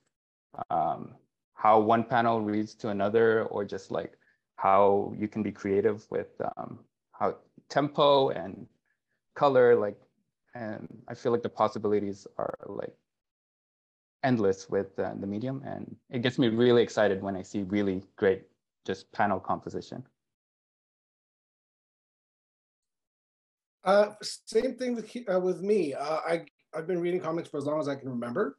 My dad was a comic book reader, um, so there were comics all around, you know, all the time. I grew up in Montreal, where you know we had bande dessinée in our classrooms, and my teachers were fans of Garfield and uh, whatever was uh, Ziggy. I don't know if everybody here's old enough to remember Ziggy. Um, so I was always surrounded by by comics. Um, and I just I just love the the marriage of words and pictures, and I love to tell stories, and it's it's one it's my favorite way to tell to tell a story. Thank you all. Um, I should remind everyone that if anyone else has questions, they can put them in the chat. But all of your answers really made me think of my my own childhood. I grew up reading things like Garfield, but also like Archie comics. Um, but when I was, you know, reading these things, none of the characters were really Asian, right? So I'm curious, like, what does it mean to you um, creating in this genre to have Asian representation and like Filipino, Filipino Canadian characters? Well, I, if, I, if I may start, I, I think it's huge. Um, growing up, all of my heroes were white, and the majority of them were American. Uh, and being Canadian, it was huge when Alpha Flight came on the scene. I don't know if you guys are familiar with Alpha Flight, but they're the Avengers of Canada in the Marvel Universe. And now it's a game changer for me. And it just so happens that two of the superheroes in that comic book are twins from Quebec who, while they're French Canadian, they kind of look elf like. And to me, I always thought, oh, they might be, they could be part Asian, maybe. That could be me. Um, and I also grew up watching the Super Friends and um, the Wonder Twins, who are from Exxor, a planet, uh, an alien planet, to me also looked Asian. So I was like imposing myself on these characters and thinking, well, you know, they kind of look like me. So that, uh, you know, that counts. But of course, it's not the same thing. Um, I don't even know the first time I remember the, oh, actually I do. That's, that's a lie. I mean, I probably discovered, when I first discovered manga and realized, oh, wow, there's the whole industry, right? Um, although I was aware of Filipino comics at the time, comics with a K. uh, but we never saw those heroes in the comics that I was reading. So as soon as I got the opportunity to, again, impose myself, I mean, my very first comic was this thing called the Copybook Tales, which basically was a semi-autobiographical story about myself and my friend Tim Levins, trying to break into the comic industry. So it was very meta. Um, but I think that was the first time that I ever saw a Filipino family in a comic book. I mean, outside of the Philippines, of course.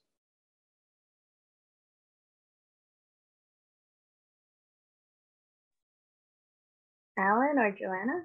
I can go. Um, so for me, I I honestly didn't really read Western comics. So I, I grew up on manga and anime. So I've essentially always seen at least Asian characters. Um, and I don't know, I just wanted to draw myself as a in in my stories, and I I knew that there weren't many Filipino characters overall in in pop culture and in media. Like even recently, the only actor that comes to mind in Western media is uh oh my god, his name escapes me. The friend from Spider-Man.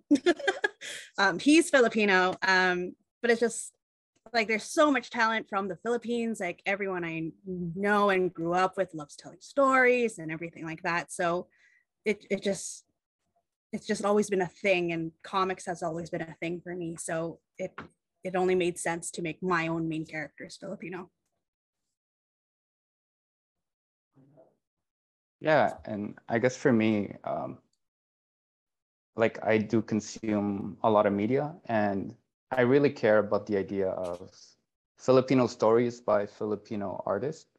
Um, if someone is going to write about Filipinos, if it's not going to be me, it better be from another Filipino because they have uh, a genuine perception that they have.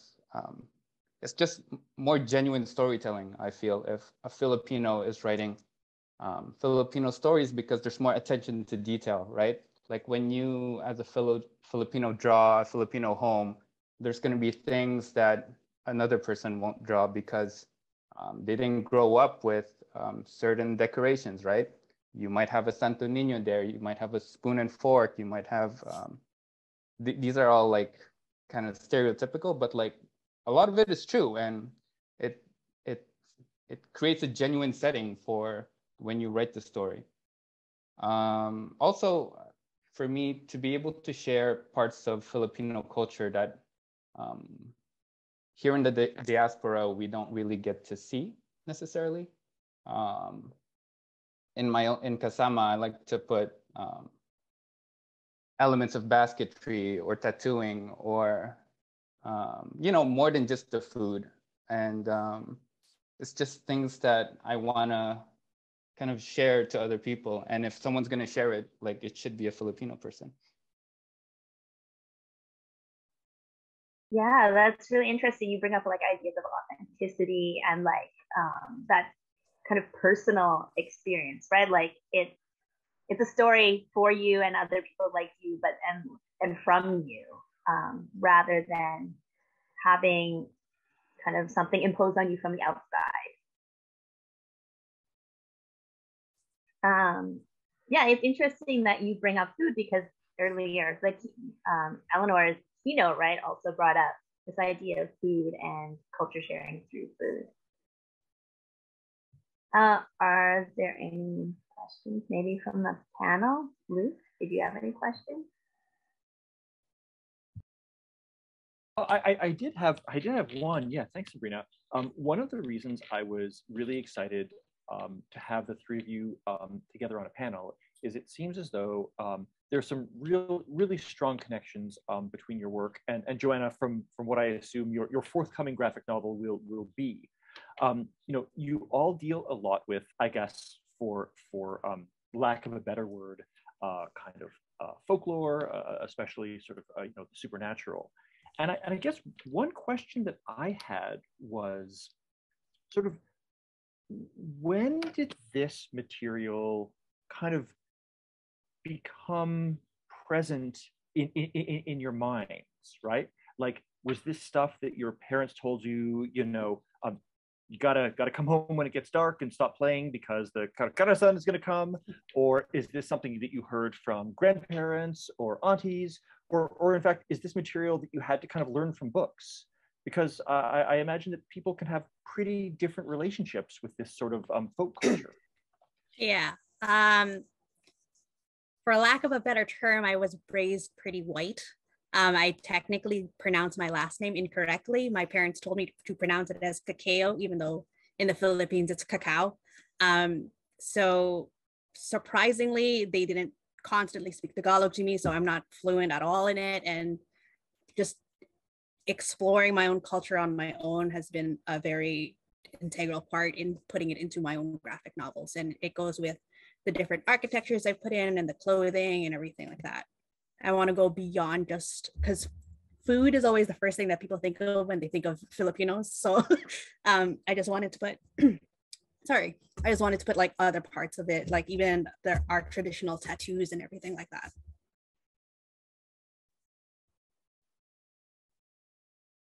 Yeah, I could go next. Um, yeah, very similarly, um, I kind of had to learn all of this myself. I actually asked my parents and my grandma about Aswang, and um, my mom didn't want to talk about it. And when I mentioned it to my grandma, they were like, "Why do you want to, you know, why do you want to learn about these things, right?" Like, uh, and for them, it's a very serious matter, because, um, like, at least my mom's side, uh, they grew up on the countryside, right? So I'm sure there was this type of superstition there. And um, how I started diving deeper into just Aswang or just Filipino creatures in general is because at one point I wanted to um, update my portfolio as an artist. And I really couldn't imagine seeing myself diving into other people's cultures, right? Like, um, especially in video games, a lot of the themes are quite repetitive. And for me, um, I wasn't passionate about what's really popular in the mainstream.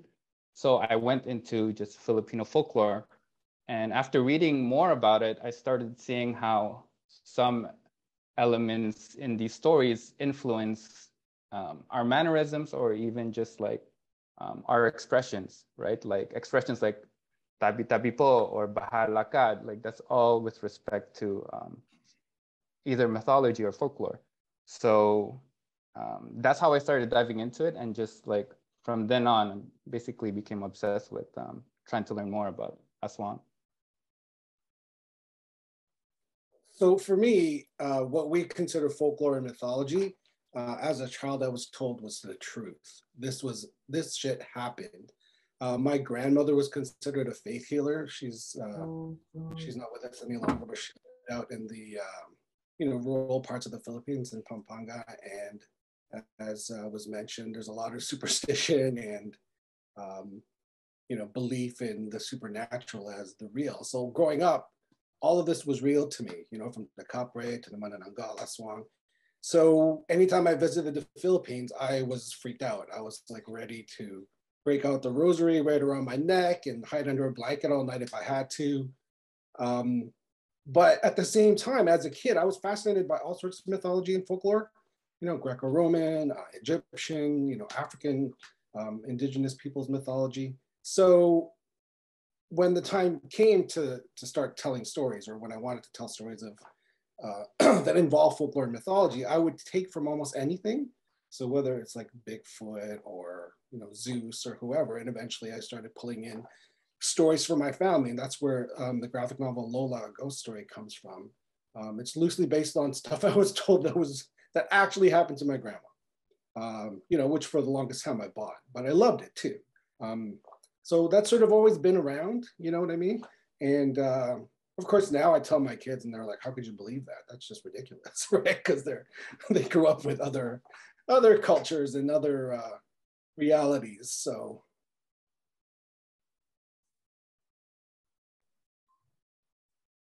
Thanks. Um, so interesting to hear like your your personal experience with um, mythologies and different mythologies, and kind of like the fantastical. It's like such a integral part of so much of the work that you guys um, create. So this kind of leads me to another question like, what is it that the fantastical offers you that something more realistic doesn't? In when you're when you're creating these stories and, and when you're when you're um, you know like presenting them to readers or viewers? Um, well, for me, I've just always been part like I I I don't necessarily like normal settings and stories. I've always been into just anything with powers or magic or anything like that. Um, so I never really, I don't know. When I was a kid, I would always just imagine myself in magical worlds anyway. So it only made sense to make my very first story about a magical world. Um, and that was how I kind of decided.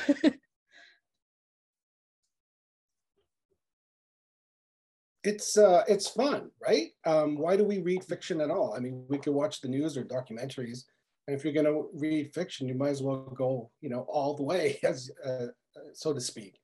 Um, but it's it's not obviously it's not particular to Filipinos. I mean, every culture has it. I mean, the American comic book industry, you know, relies so much on other mythologies. Um, and I think that, uh, again, the best fiction, the best novels and movies and you know TV that I consume involves some kind of incorporation of mythology or adaptation of you know folklore and and that sort of thing. So I think it just boils down to making it more interesting than you know Coronation Street. With apologies to people who like Coronation Street, right? I want to see dragons and stuff. uh, for me, it's just how we can use the fantastical for just symbolism, right? For harder conversations.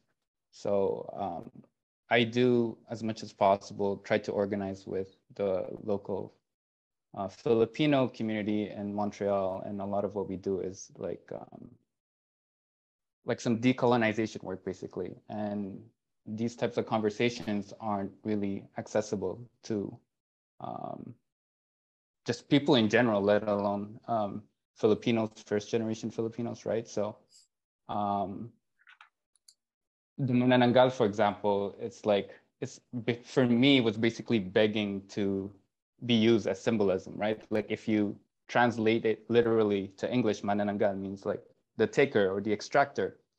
And um, like in my head, I was like, man, this is a no brainer, right? Like let's use uh, elements of um, folklore to talk about issues that are very hard to discuss with, even within family. And, um, you know, it's just my way of making the conversation more accessible. Oh, Lindsay, you have a question. Please share. And I'm so sorry, it's going to be a typical Lindsay question. Uh, and that it's not going to be a question. I'm just, just going to ramble for a while. Um, but I just, there's some similarities in what you're um, speaking about to some books that I've read in Chinese Canadian literature. So I'm kind of like glancing up at like Eleanor Ty's picture because she probably can back me up on this. But there's, you know, like maybe a trend of sort of gothic type imagery or uh, language and some Chinese Canadian literature. In particular, I'm thinking about Wayson Choy, and his mother always talked about the bakwai, like a ghost, right?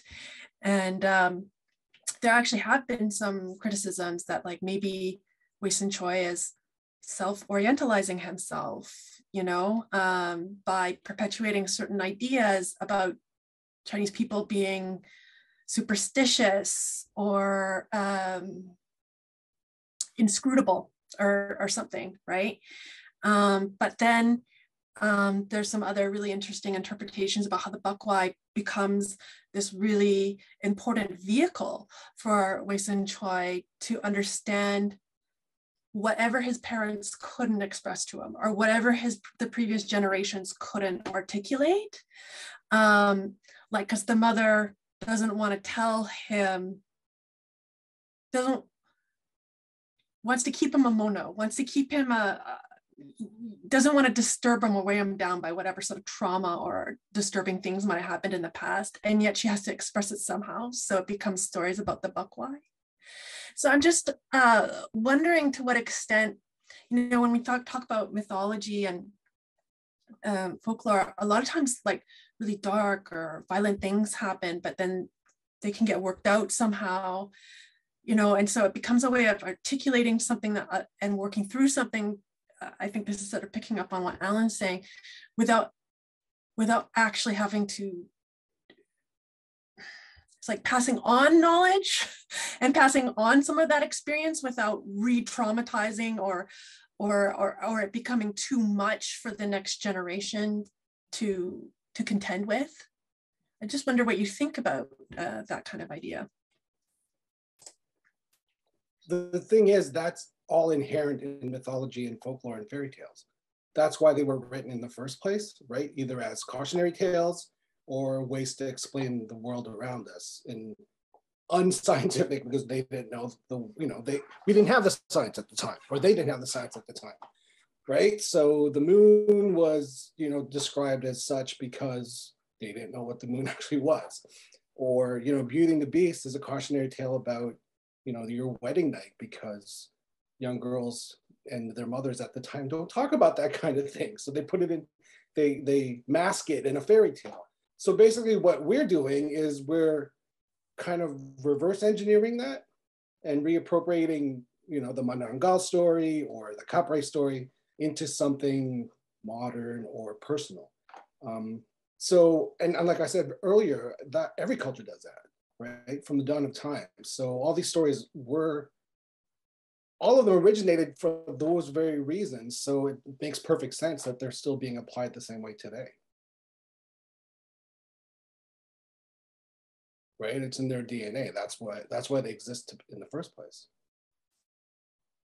Yeah, and like to briefly add to that, like I think uh, at least for me, my approach to Manananggal or Aswang in general is still in spooky way because I have just discovered them or I'm still internalizing them. But like if you look at um, how they're portrayed in the Philippines now, like they're kind of treated in a whole bunch of unique creative ways right like uh, like rob like mech mecha manananggas and just like um like the manananggal over there is like how we treat the vampires now right like it's a whole new perception of what a vampire can be um maybe as like diasporic filipinos because we're rediscovering this like it's still maybe um treated as like cautionary tales, but like we're also adjusting it, reappropriating it, and like evolving the manananggal, right? We we might be a bit behind from like the homeland, um, but ultimately, like, uh, yeah, going on with what uh, J. Torres was saying, like we're just um, just kind of reappropriating it. Yeah, and the thing is, I mean, everyone comes from a different perspective. So you're going to take the same mythology in a different way and see it in a different light. And at the same time, there's really very little that's new under the sun. So you're going to want to do something different with it.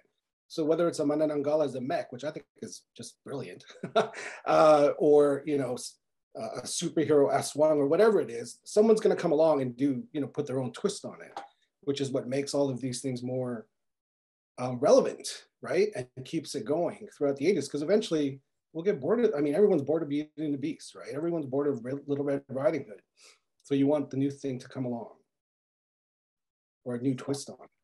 I don't think of it, or at least for my story, I don't think of it as like folk tales. It's more so I've made them into creatures. Um, because in in uh like just general pop culture media that West Western people, Western audiences are used to. We, they've never really heard of an aswang, for example. Um, so it's just to its core. That's what I'm planning to incorporate into my story. Uh, so kind of like leading off of that and thinking about what Jay said about how these um, like folklore explain things to people. Um, your your texts are generally for for young people, and so historically, texts for young people have been didactic, right? Like they're meant to teach lessons to young people about like the world or how to how to live. So I'm wondering what sort of lessons maybe are included in your works that uh, are for young readers, like teaching young people about Filipino or Filipino Canadian um, culture, or teaching like young Filipino people or young Filipino Canadians about maybe their place in the world or like your own experiences as as young people. Um, I I don't I don't usually set out with that kind of uh, a goal or a mandate. I just tell a story that somehow was inspired by something else. So, for example, I was talking about Lola earlier. You know, I was inspired by my my own grandmother. Um, my very first comic book was about me and my friend Tim graduating from college and trying to make our way into the industry. But since the one of the main characters was Filipino, so then you had the Filipino family and going to church and you know, doing all these things that we did, pointing with our lips or whatever it was. Um, so I, I suppose if you're writing a story the right way, your character goes through an arc with some growth. And with that growth, especially if you're talking about a younger protagonist, um, with that comes some kind of life lesson. Uh, but that's, I, I mean, I don't start out that way, right? The hope is you get there, and the hope is the kids will pick that up as they as they enjoy the ghost stories and the superheroes and whatever else is going on. Yeah, my story is um I don't think I focus on that either. It's more so the relationships between all the characters and it's not necessarily uh Filipino centric, but it's what I'm used to and what I've grown up with with my family and everything like that. And just I find that the Filipino communities, especially, they just there's some they're more tight knit from what I've experienced, at least where I am. Um, and I definitely want to kind of even just I also feel at the same time within the Filipino community when they look outside they're very like judgmental so like there's a very it, it's like a it's a b story in my story but um just like figuring out different class systems and like the rich looking down at the at the poor and everything like that because like there's like a lot of my titas for example have like name brand purses and they have to be like oh look at my Tory Burch and oh look at my Prada and stuff like that. And you're just like I paid $20 for my glasses. And it's just uh that's what I want to kind of showcase I guess I guess for me, I did kind of approach it um, wanting to give out a message because um, before writing the graphic novel, I was doing kind of, um, I was organized, right? So I was first and foremost um, working with elders and like trying to uh, help people when it comes to migrant worker rights and stuff like that. So ultimately, um, my message does well the book um, i hope to communicate messages um, that um, kind of questions your positionality um, when it comes to facing different um, types of filipinos. Whether that be you facing filipinos back home you facing other filipinos here in the diaspora. So yeah for me it's really i guess message heavy uh, and it's kind of funny to see these different perspectives when it comes to our approaches to writing. Yeah, for sure. It's so interesting to think about how different people go through that process, like any kind of creative process. We have a speaking of like young people and and process, uh, we have a question from Tim's nine-year-old Filipino son who's very into comics, and he wants to know how you all got started. Uh, like, did you go to art school? Um, I went to Red River College to go into 3D animation because that was the only thing in Winnipeg. Um, and I found out I didn't like it. Um, but as a kid, I always made my own comics, even if they were just like, here's a dog trying to eat a cookie or something. Um, so it wasn't necessarily how did I start with it, it's how I broke out into the industry, I guess. And what helped a lot was uh, finding a, a community around the same level that I was. Um, and most of them are from the States. So they actually gave me a lot of uh, advice and um, insight into American publishing and how you could actually get an agent and get published and stuff like that.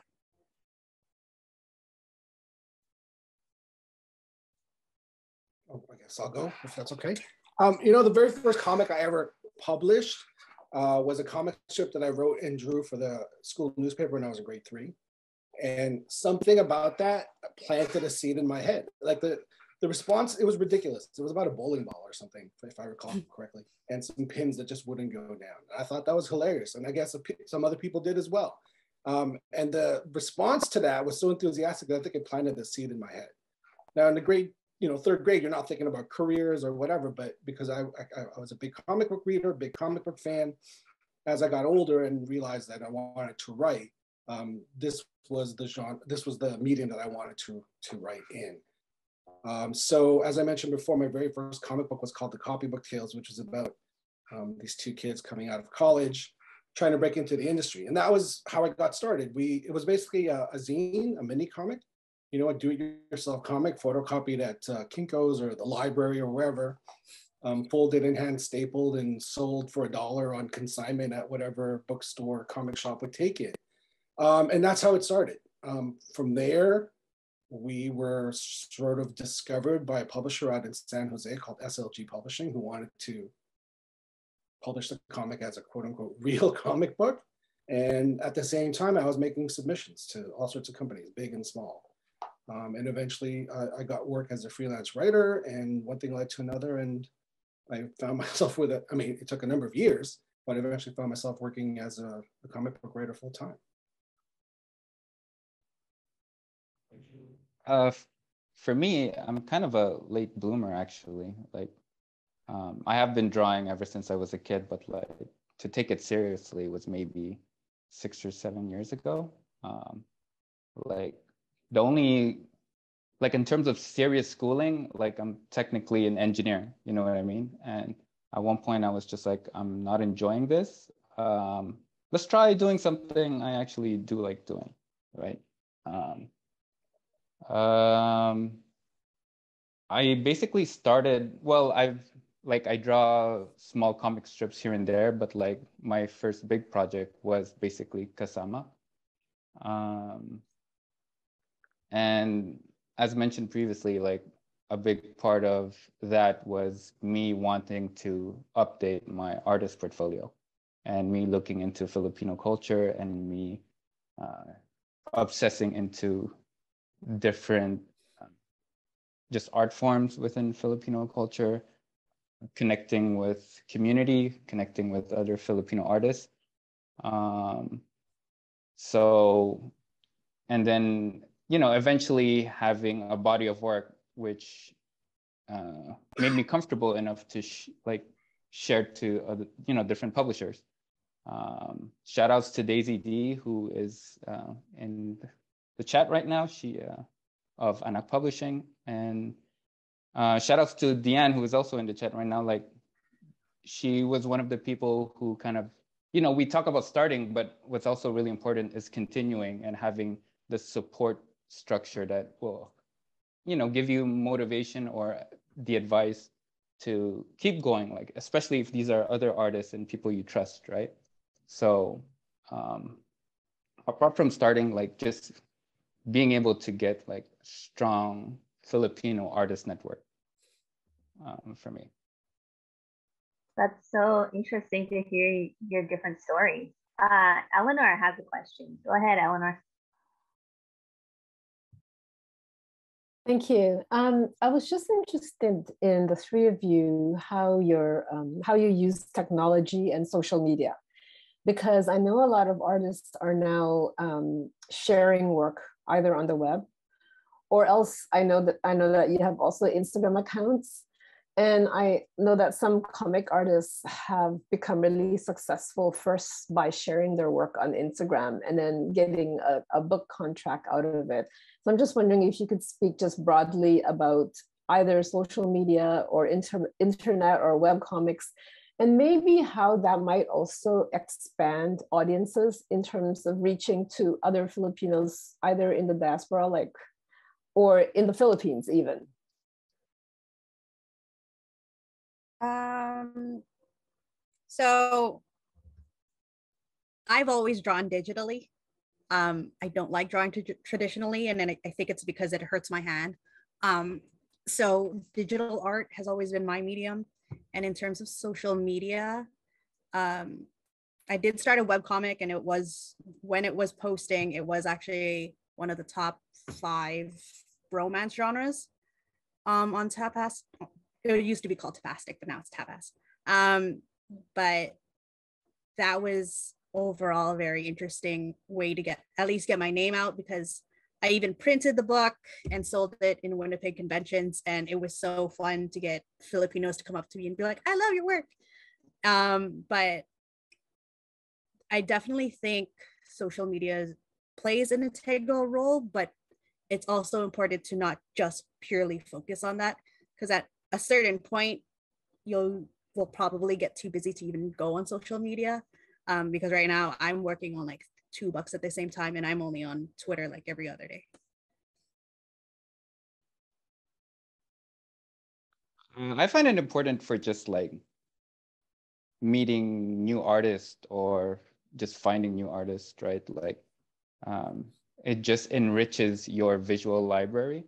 Uh, it's important to see um, who's out there and what they're doing. Like um, because of social media, I was able to, uh, you know, get my hands on the books of several the panelists here, even you know before uh, being introduced to them today, right? So um, it's just a great way to kind of see um, who else is doing work and just expand the network. Because um, yeah, there's there's really not that many of us, um, at least who are visible. So I think it's important that, you know, there's some kind of connection that's made. So I've been at this a long time. And from a pragmatic standpoint, practical standpoint, technology has transformed the way I work and how I do business. Um, like I come from a time where I'm starting really old already, where you physically had to go to New York or LA or Chicago or Toronto. I was in Montreal at the time if you wanted to get work, if you wanted to get notice. Um, there was a lot of networking involved, not that there isn't anymore, but to be perfectly honest with you, uh, I have not gotten work from uh, any meetings or face-to-face encounters in the last five, ten years. It's all been by email, phone, and actually mostly email and even text. And I, I come from an era, here we go again, old man talking here, where we used to have to mail shit like scripts and pages and FedEx stuff and wait. Um, and you know, if you're working for like a Marvel or a DC, it's like an assembly line. So you have to wait for the page to go from the penciler to the inker or wherever back to the editor, get photocopy sent back to me to proof, and then you know, fax. Do you guys know what a fax machine is anymore? Fax um, my notes back to the editor and back, right? But now, and so that would take, I, I don't even remember, two months to do like a 20 page story, maybe even more with if FedEx screws up and loses the artist pages. But now, because of digital, every I could send the script out, and within a few days, if you know a pencil artist gets the line work out there, five or six people can be working concurrently on the same page, and it goes a lot faster. Now, there's good and bad to that, obviously, um, but it's just fantastic. I, I remember this is an old man story again, sorry. I remember Tim Levins, my very first, the very first artist that I ever worked with. He lived in Toronto at the time. I lived in Montreal. I'm like, imagine if we could like talk on the computer with each other and sh- you could see the pages I'm drawing and give me notes. Like we were, I, I wish I invented this before it came about. Uh, and here we are, right? So, okay, so there's that, the practical, um, you know, the day to day kind of work stuff. But as I'm sure a lot of you have learned in the last two years during the pandemic, like this is huge. Like what we're doing right now is a game changer. Um, I mean, I do a lot of school and library visits generally, but of course during the pandemic, you know, couldn't get out. Um, but in the last year, I've done maybe, you know, one or two school or library visits a week via Zoom and, um, you know, Steamwork or whatever else it is. Um, so that, that's huge. That's a game changer in terms of getting out there. Uh, I just, I did, um, please forgive me, TD Book, oh my goodness, TD Book Week uh, last year, which normally is a thing where they send authors and artists to different um, regions in the in the country, and then you'll do you'll get into a car and you'll drive from town to town, school to school, and usually you're stuck in one place, right? So the first time I ever did it, I was out in Manitoba. So this year, however, um, I was able to in the morning do a Zoom with a class in BC and then right after that a class in winnipeg and then right after that a class in toronto which you can't do physically right so again another game changer in the in terms of getting your work out there and, and whatever um, and lastly i don't want to keep going here but so i, am working with uh, um, a filipino creator named sigmund torre who's putting together an anthology and he's he's he's uh, he used to live in toronto but now lives in boracay or thereabouts. And just the fact that we are able to DM each other on Instagram about this anthology, um, and he's able to organize it with Filipinos, you know, all over the all over the globe in that way. Again, is a game changer. Like if he tried to do that even five, ten years ago, 15 years ago, it, it would be a monumental task. And in fact, I remember someone trying to do that from Manila, trying to get Filipino um, creators from the US and Canada to participate. And it was it was hard. it was really, I can't imagine the logistics of it. So I, I, know, I hope that answers your question I hope it's not too long-winded.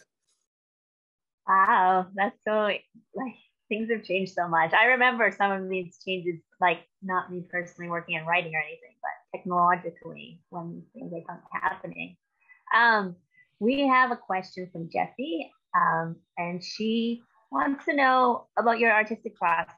She says, Is it easy to break away from the stories and styles that influence you? Or do you kind of lean into your influences and kind of let notes of Garfield or Naruto, uh, Naruto bubble up in your own work? I definitely think I consume so much media. So it's like a melting pot of what my influences are. Um, so I'm sure there are references in my work that I don't even realize because it's all subconscious at this point. Um, but yeah, just consume more art and then your art will evolve and your stories will evolve, evolve and everything like that. Yeah, I like to tell people that um, a lot of people, well, a lot of younger artists kind of come up to me and ask me like, how do you figure out your style? And I always answer like, your style is basically the culmination of all your references. Um, your style can only get richer the more you consume. So your style just comes naturally with what you enjoy. So um, the most genuine, your most genuine art style is really diving into the stuff that you love and see where that takes you artistically. Yeah, I agree. I mean, I'm I'm the sum of all the cartoons and comic books and TV and movie and books and people I've ever met in terms of influences. And I kind of, I have no problem wearing that on my sleeve. You know, I grew up reading um, Archie comics and watching Bugs Bunny cartoons, and they're always very referential to pop culture um, without without being too um, too dependent on on those things. I mean, they continue to be funny without those references, if you know what I mean, and those influences. Uh, so yeah, it's it's. I have no problem with that. I think it's it's sort of fun to to show your influences, or we could call them homages. I think that's really beautiful, like these ideas of inspiration and kind of connecting with those who went before us. Um, Luke has a question. Go ahead, Luke. Um, just quickly, one of the reasons that I was so I'm so happy that we were able to do this is um, you guys are all really busy people and you've got a lot of different projects going on, um, and you're working in kind of comics and graphic novels, but also uh, you know the gaming industry and also sort of lots of different kinds of comics. Um, and I'm just wondering how difficult it is to sort of switch gears and work sort of in kind of different comic forms. And Joanna, if I could, I, I want to start with you. I mean, Joanna's at a really exciting time in her career, right? She's did a, a very long-standing um, uh, webtoon, and now she's working on her first graphic novel. I mean, is that a sort of difficult adjustment for you? Um, the reason why I stopped my webtoon was because of burnout. So um, I actually had to take, I think it was two years that I didn't draw. I just did not draw, and I, I just did other things to relieve myself from burnout. But then I came back to it because it's what I love. And um, even going between, because the books that I'm working on, they're both middle grade, but one is a younger middle grade technically, like so like eight year olds to 12 year olds. And then mine is like 12 and up. And though my styles are essentially the same, it still it still feels different to draw it because I have to draw like easier to read expressions for the other one for the younger one and stuff like that so it's just it is i i do like separate it in terms of days. So if i'm working on one project at least i focus on that one style that day and then the next day it's the other style. Uh, burnout is real. Um, so much work to make comic books right? Like i can't um, sketching, uh, line work, coloring, finding the right font, the illustrating the lettering. Like there's a shit ton of things that you're you realize it's just never ending. Like you could keep refining this work. Um, I do like to jump around different art forms, um, and you know, not just not just uh, like visual um, arts, but like recently I started getting into like screen printing. I guess that's visual arts too, or also like um, like metal work. And it may seem like a disconnect, but ultimately, what inspires me is a lot of the same uh, themes or subject matter. So it's still influencing uh, me as an artist, you know. So it's not deviating from my work. It's maybe it's deviating from my visual arts work, but it's not deviating from my work as a artist. Uh, I kind of feel the need to switch gears every now and then. Um, and not just within comics, but just do different things creatively uh, to try to avoid burnout. But of course, sometimes you just, you know, sometimes you hit a wall and there's nothing you can do. Um, but there's also times where, you know, you've got a deadline. So you have no choice, right? Burnout gets uh, put out by the the uh, the hose called deadlines.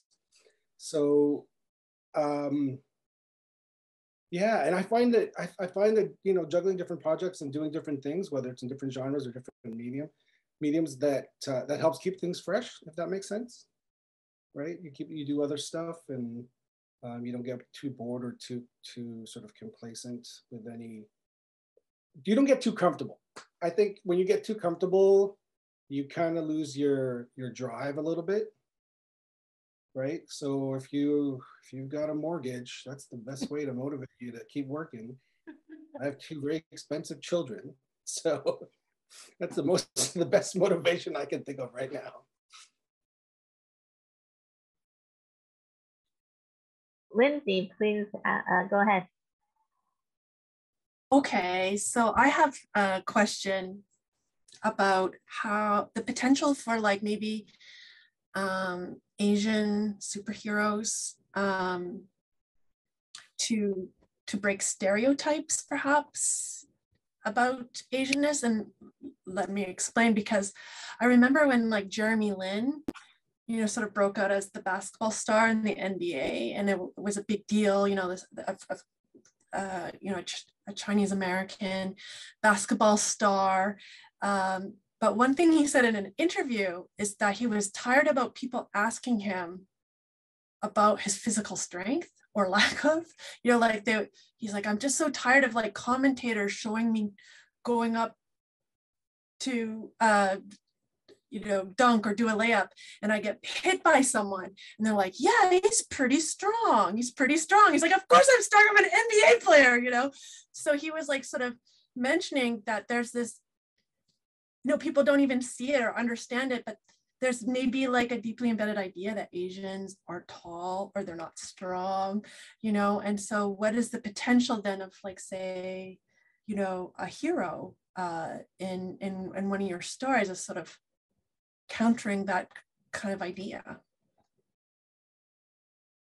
You know it's it's tough because it's it's a it's a real balancing act if you will. On the one hand you want to celebrate that you're chinese or filipino and you want to you want to put it out there right jeremy lin um, anybody in, in sports especially because it's such they're like such unicorns right if you'll pardon the expression so you want to hold that up and you want to go oh look there, there's actually you know, two Filipinos or two and a half Filipinos in the NBA right now, which is a huge thing to me, uh, for example. But at the same time, you want to see them as NBA players, period.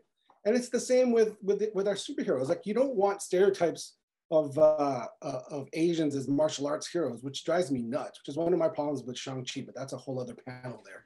Um, Marvel's first superhero lead has to be a martial artist guy. Like I mean, come on, you know. Anyway, um, so it's like a really fine line. You have to straddle that fence that uh, you know that splits celebrating your differences, but at the same time lets people know that you too can do X, Y, or Z. Uh, for me, because my comic is very magical, um, and it's I, I, get a lot of inspiration from, from, like Lord of the Rings. So I'm used to very Western fantasy. Um, so the way that I've changed it is just make that Filipino. so all the spells are in Tagalog instead of Latin and stuff like that. And even like the magic circles are traditional patterns that you see in Filipino clothing and their tattoos. Um, so it's definitely uh, the way that I go about it is to just what am I so used to seeing in Western culture and just make it Filipino. yeah, I I try not to think about um, the characters of my work relative to I guess other characters in the media. Um, I try to just make the character as believable or genuine or like I even try to kind of avoid the whole superhero kind of trope or personality because um, I don't I don't like that whole focus on the individual uh, aspect of superheroes. Um,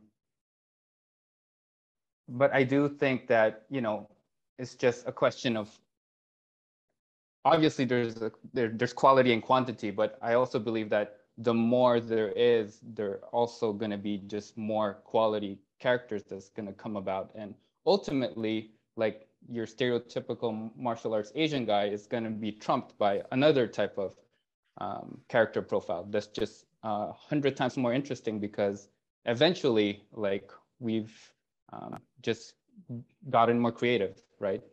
Um, so I think it's just a matter of time and quantity, to be honest. Um, and you know, our job as artists is just to create the most you know genuine version of our art and if you know if i can't do the best thing for the people then ultimately someone will eventually you know what i mean i'm just doing the best that i could do um i kind of want have this question about like um thinking about yourself as you know filipino or filipino canadian and how and belonging to this community. And it's something that we talked about kind of a lot in the last panel, but like, how does that influence how you see yourself in, in like working in this genre or, or the create the, the creative process, like um, the characters and, and stories that you create?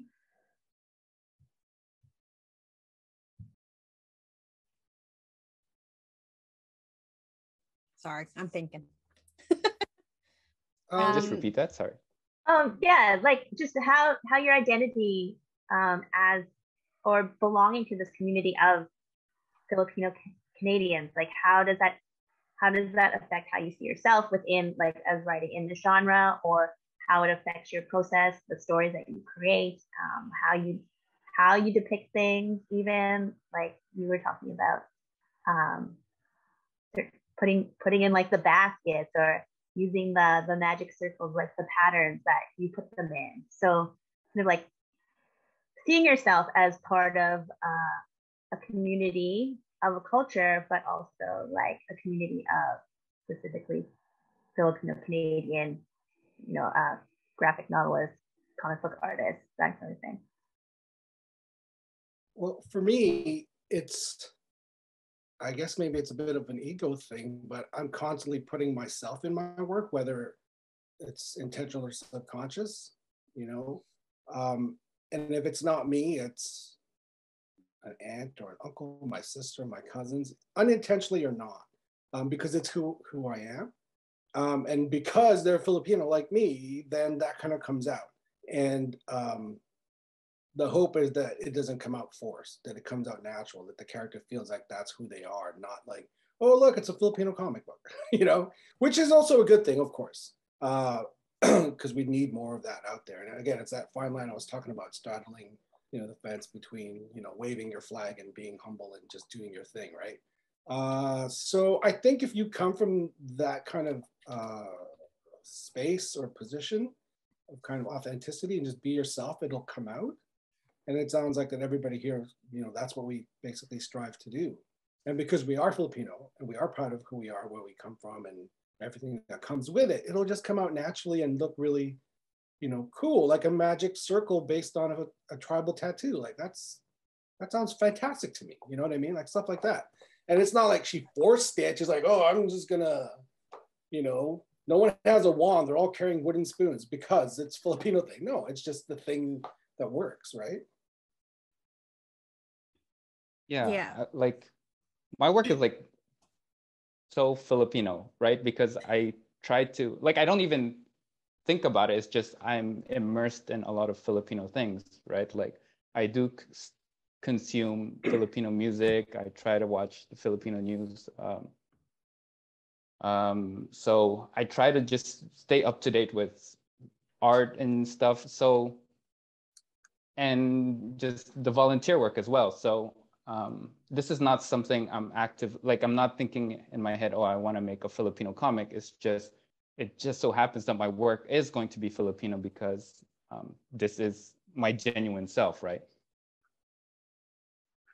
For me, it's this is how I'm exploring my identity. Uh, I just grew up in predominantly white neighborhood, predominantly white schools. Um, and because of how my parents raised me, not necessarily learning Tagalog and everything like that. And so all of it is just exploring what I don't know and trying to showcase it more for that other kid that was like me that doesn't know anything about the Philippines and the culture. Yeah, I really feel like I feel that. I growing up in Winnipeg and like predominantly white neighborhood, going to school with like a bunch of white kids. Yeah, definitely. Um, speaking of growing up in Canada, uh, on the kind of on the flip side, how do you feel about like your Canadian identity and how like not that it's different or separate from the Filipino side of things, but um, how do you feel like the Canadian side of things influences what you do? Does is it different? Uh, yeah, for sure. I think so. Um, anytime I visit the Philippines or you know talk to my cousins, you can see how different we are because of where we grew up. Um, and even just talking to my American friends, and again on a very practical level, how lucky we are as Canadians to have stuff like universal health care, for example. Um, I have American friends who are literally one catastrophic medical incident away from bankruptcy. Like seriously, that's how bad it is in the US or how bad it can be if you don't have insurance and you're like a freelancer. But we as Canadians don't have to worry about that so much, you know, and and and just this week, for example, uh, the checks from the uh, PLR came out, the public lending rate came out, and my American friends were like, "What the hell is that? What do you mean the library pays you money for your books?" So again, you know, props to Canada Arts Council and so on. so that plus the fact that we grew up around, you know, um, predominantly white people and and not only that, but like a, a, a, diversity of cultures. I mean, at least for me growing up in Montreal, like, I mean, I had friends from all over the place and every single one of them were just as proud about where they came from as we were, right? And people shared all that kind of stuff. So I think that's what makes Canada Canada, right? Because my cousins in the US are pretty assimilated to like what it is to be American. It's kind of weird to me. Um, like if you say Philippine, I mean, maybe not these days, but you know, maybe a few years back, a decade or so back, if you said I'm Filipino Canadian, and they would say I'm American. That's just it. There's no Filipino American. There's no hyphen. There's no. It's just a very, you know what I mean? Like it's a very different sort of vibe and uh, way of expressing yourself.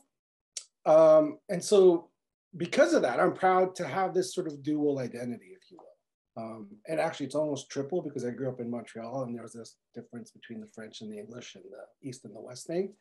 Um, so I'm very proud of that, which I think um, made me what I am today.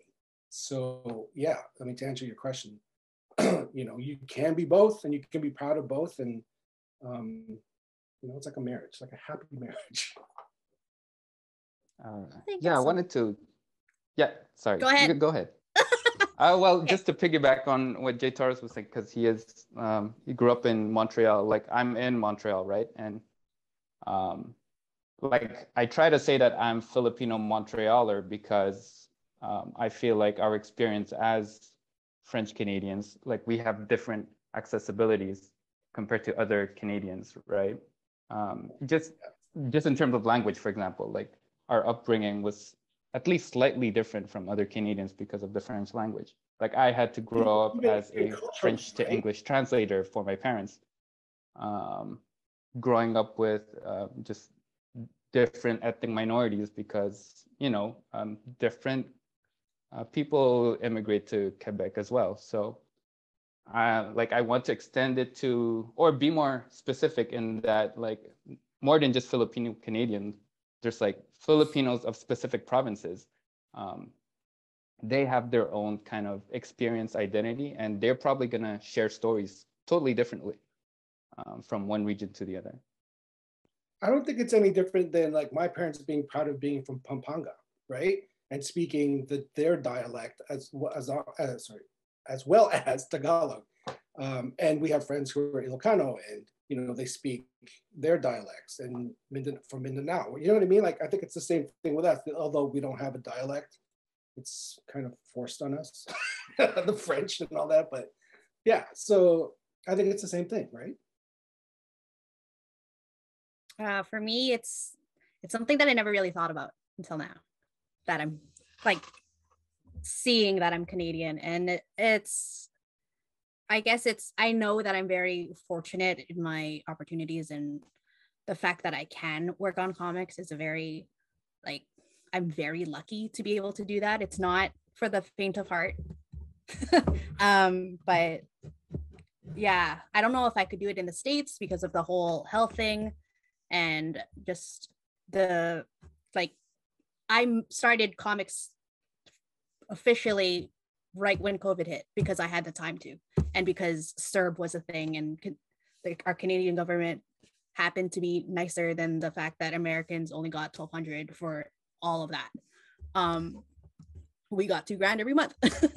um, so it, it is very like I'm, I'm very fortunate and I, I recognize that.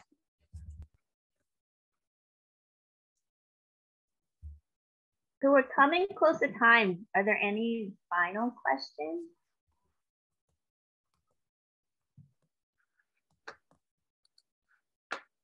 No? Maybe if we leave silence for long enough.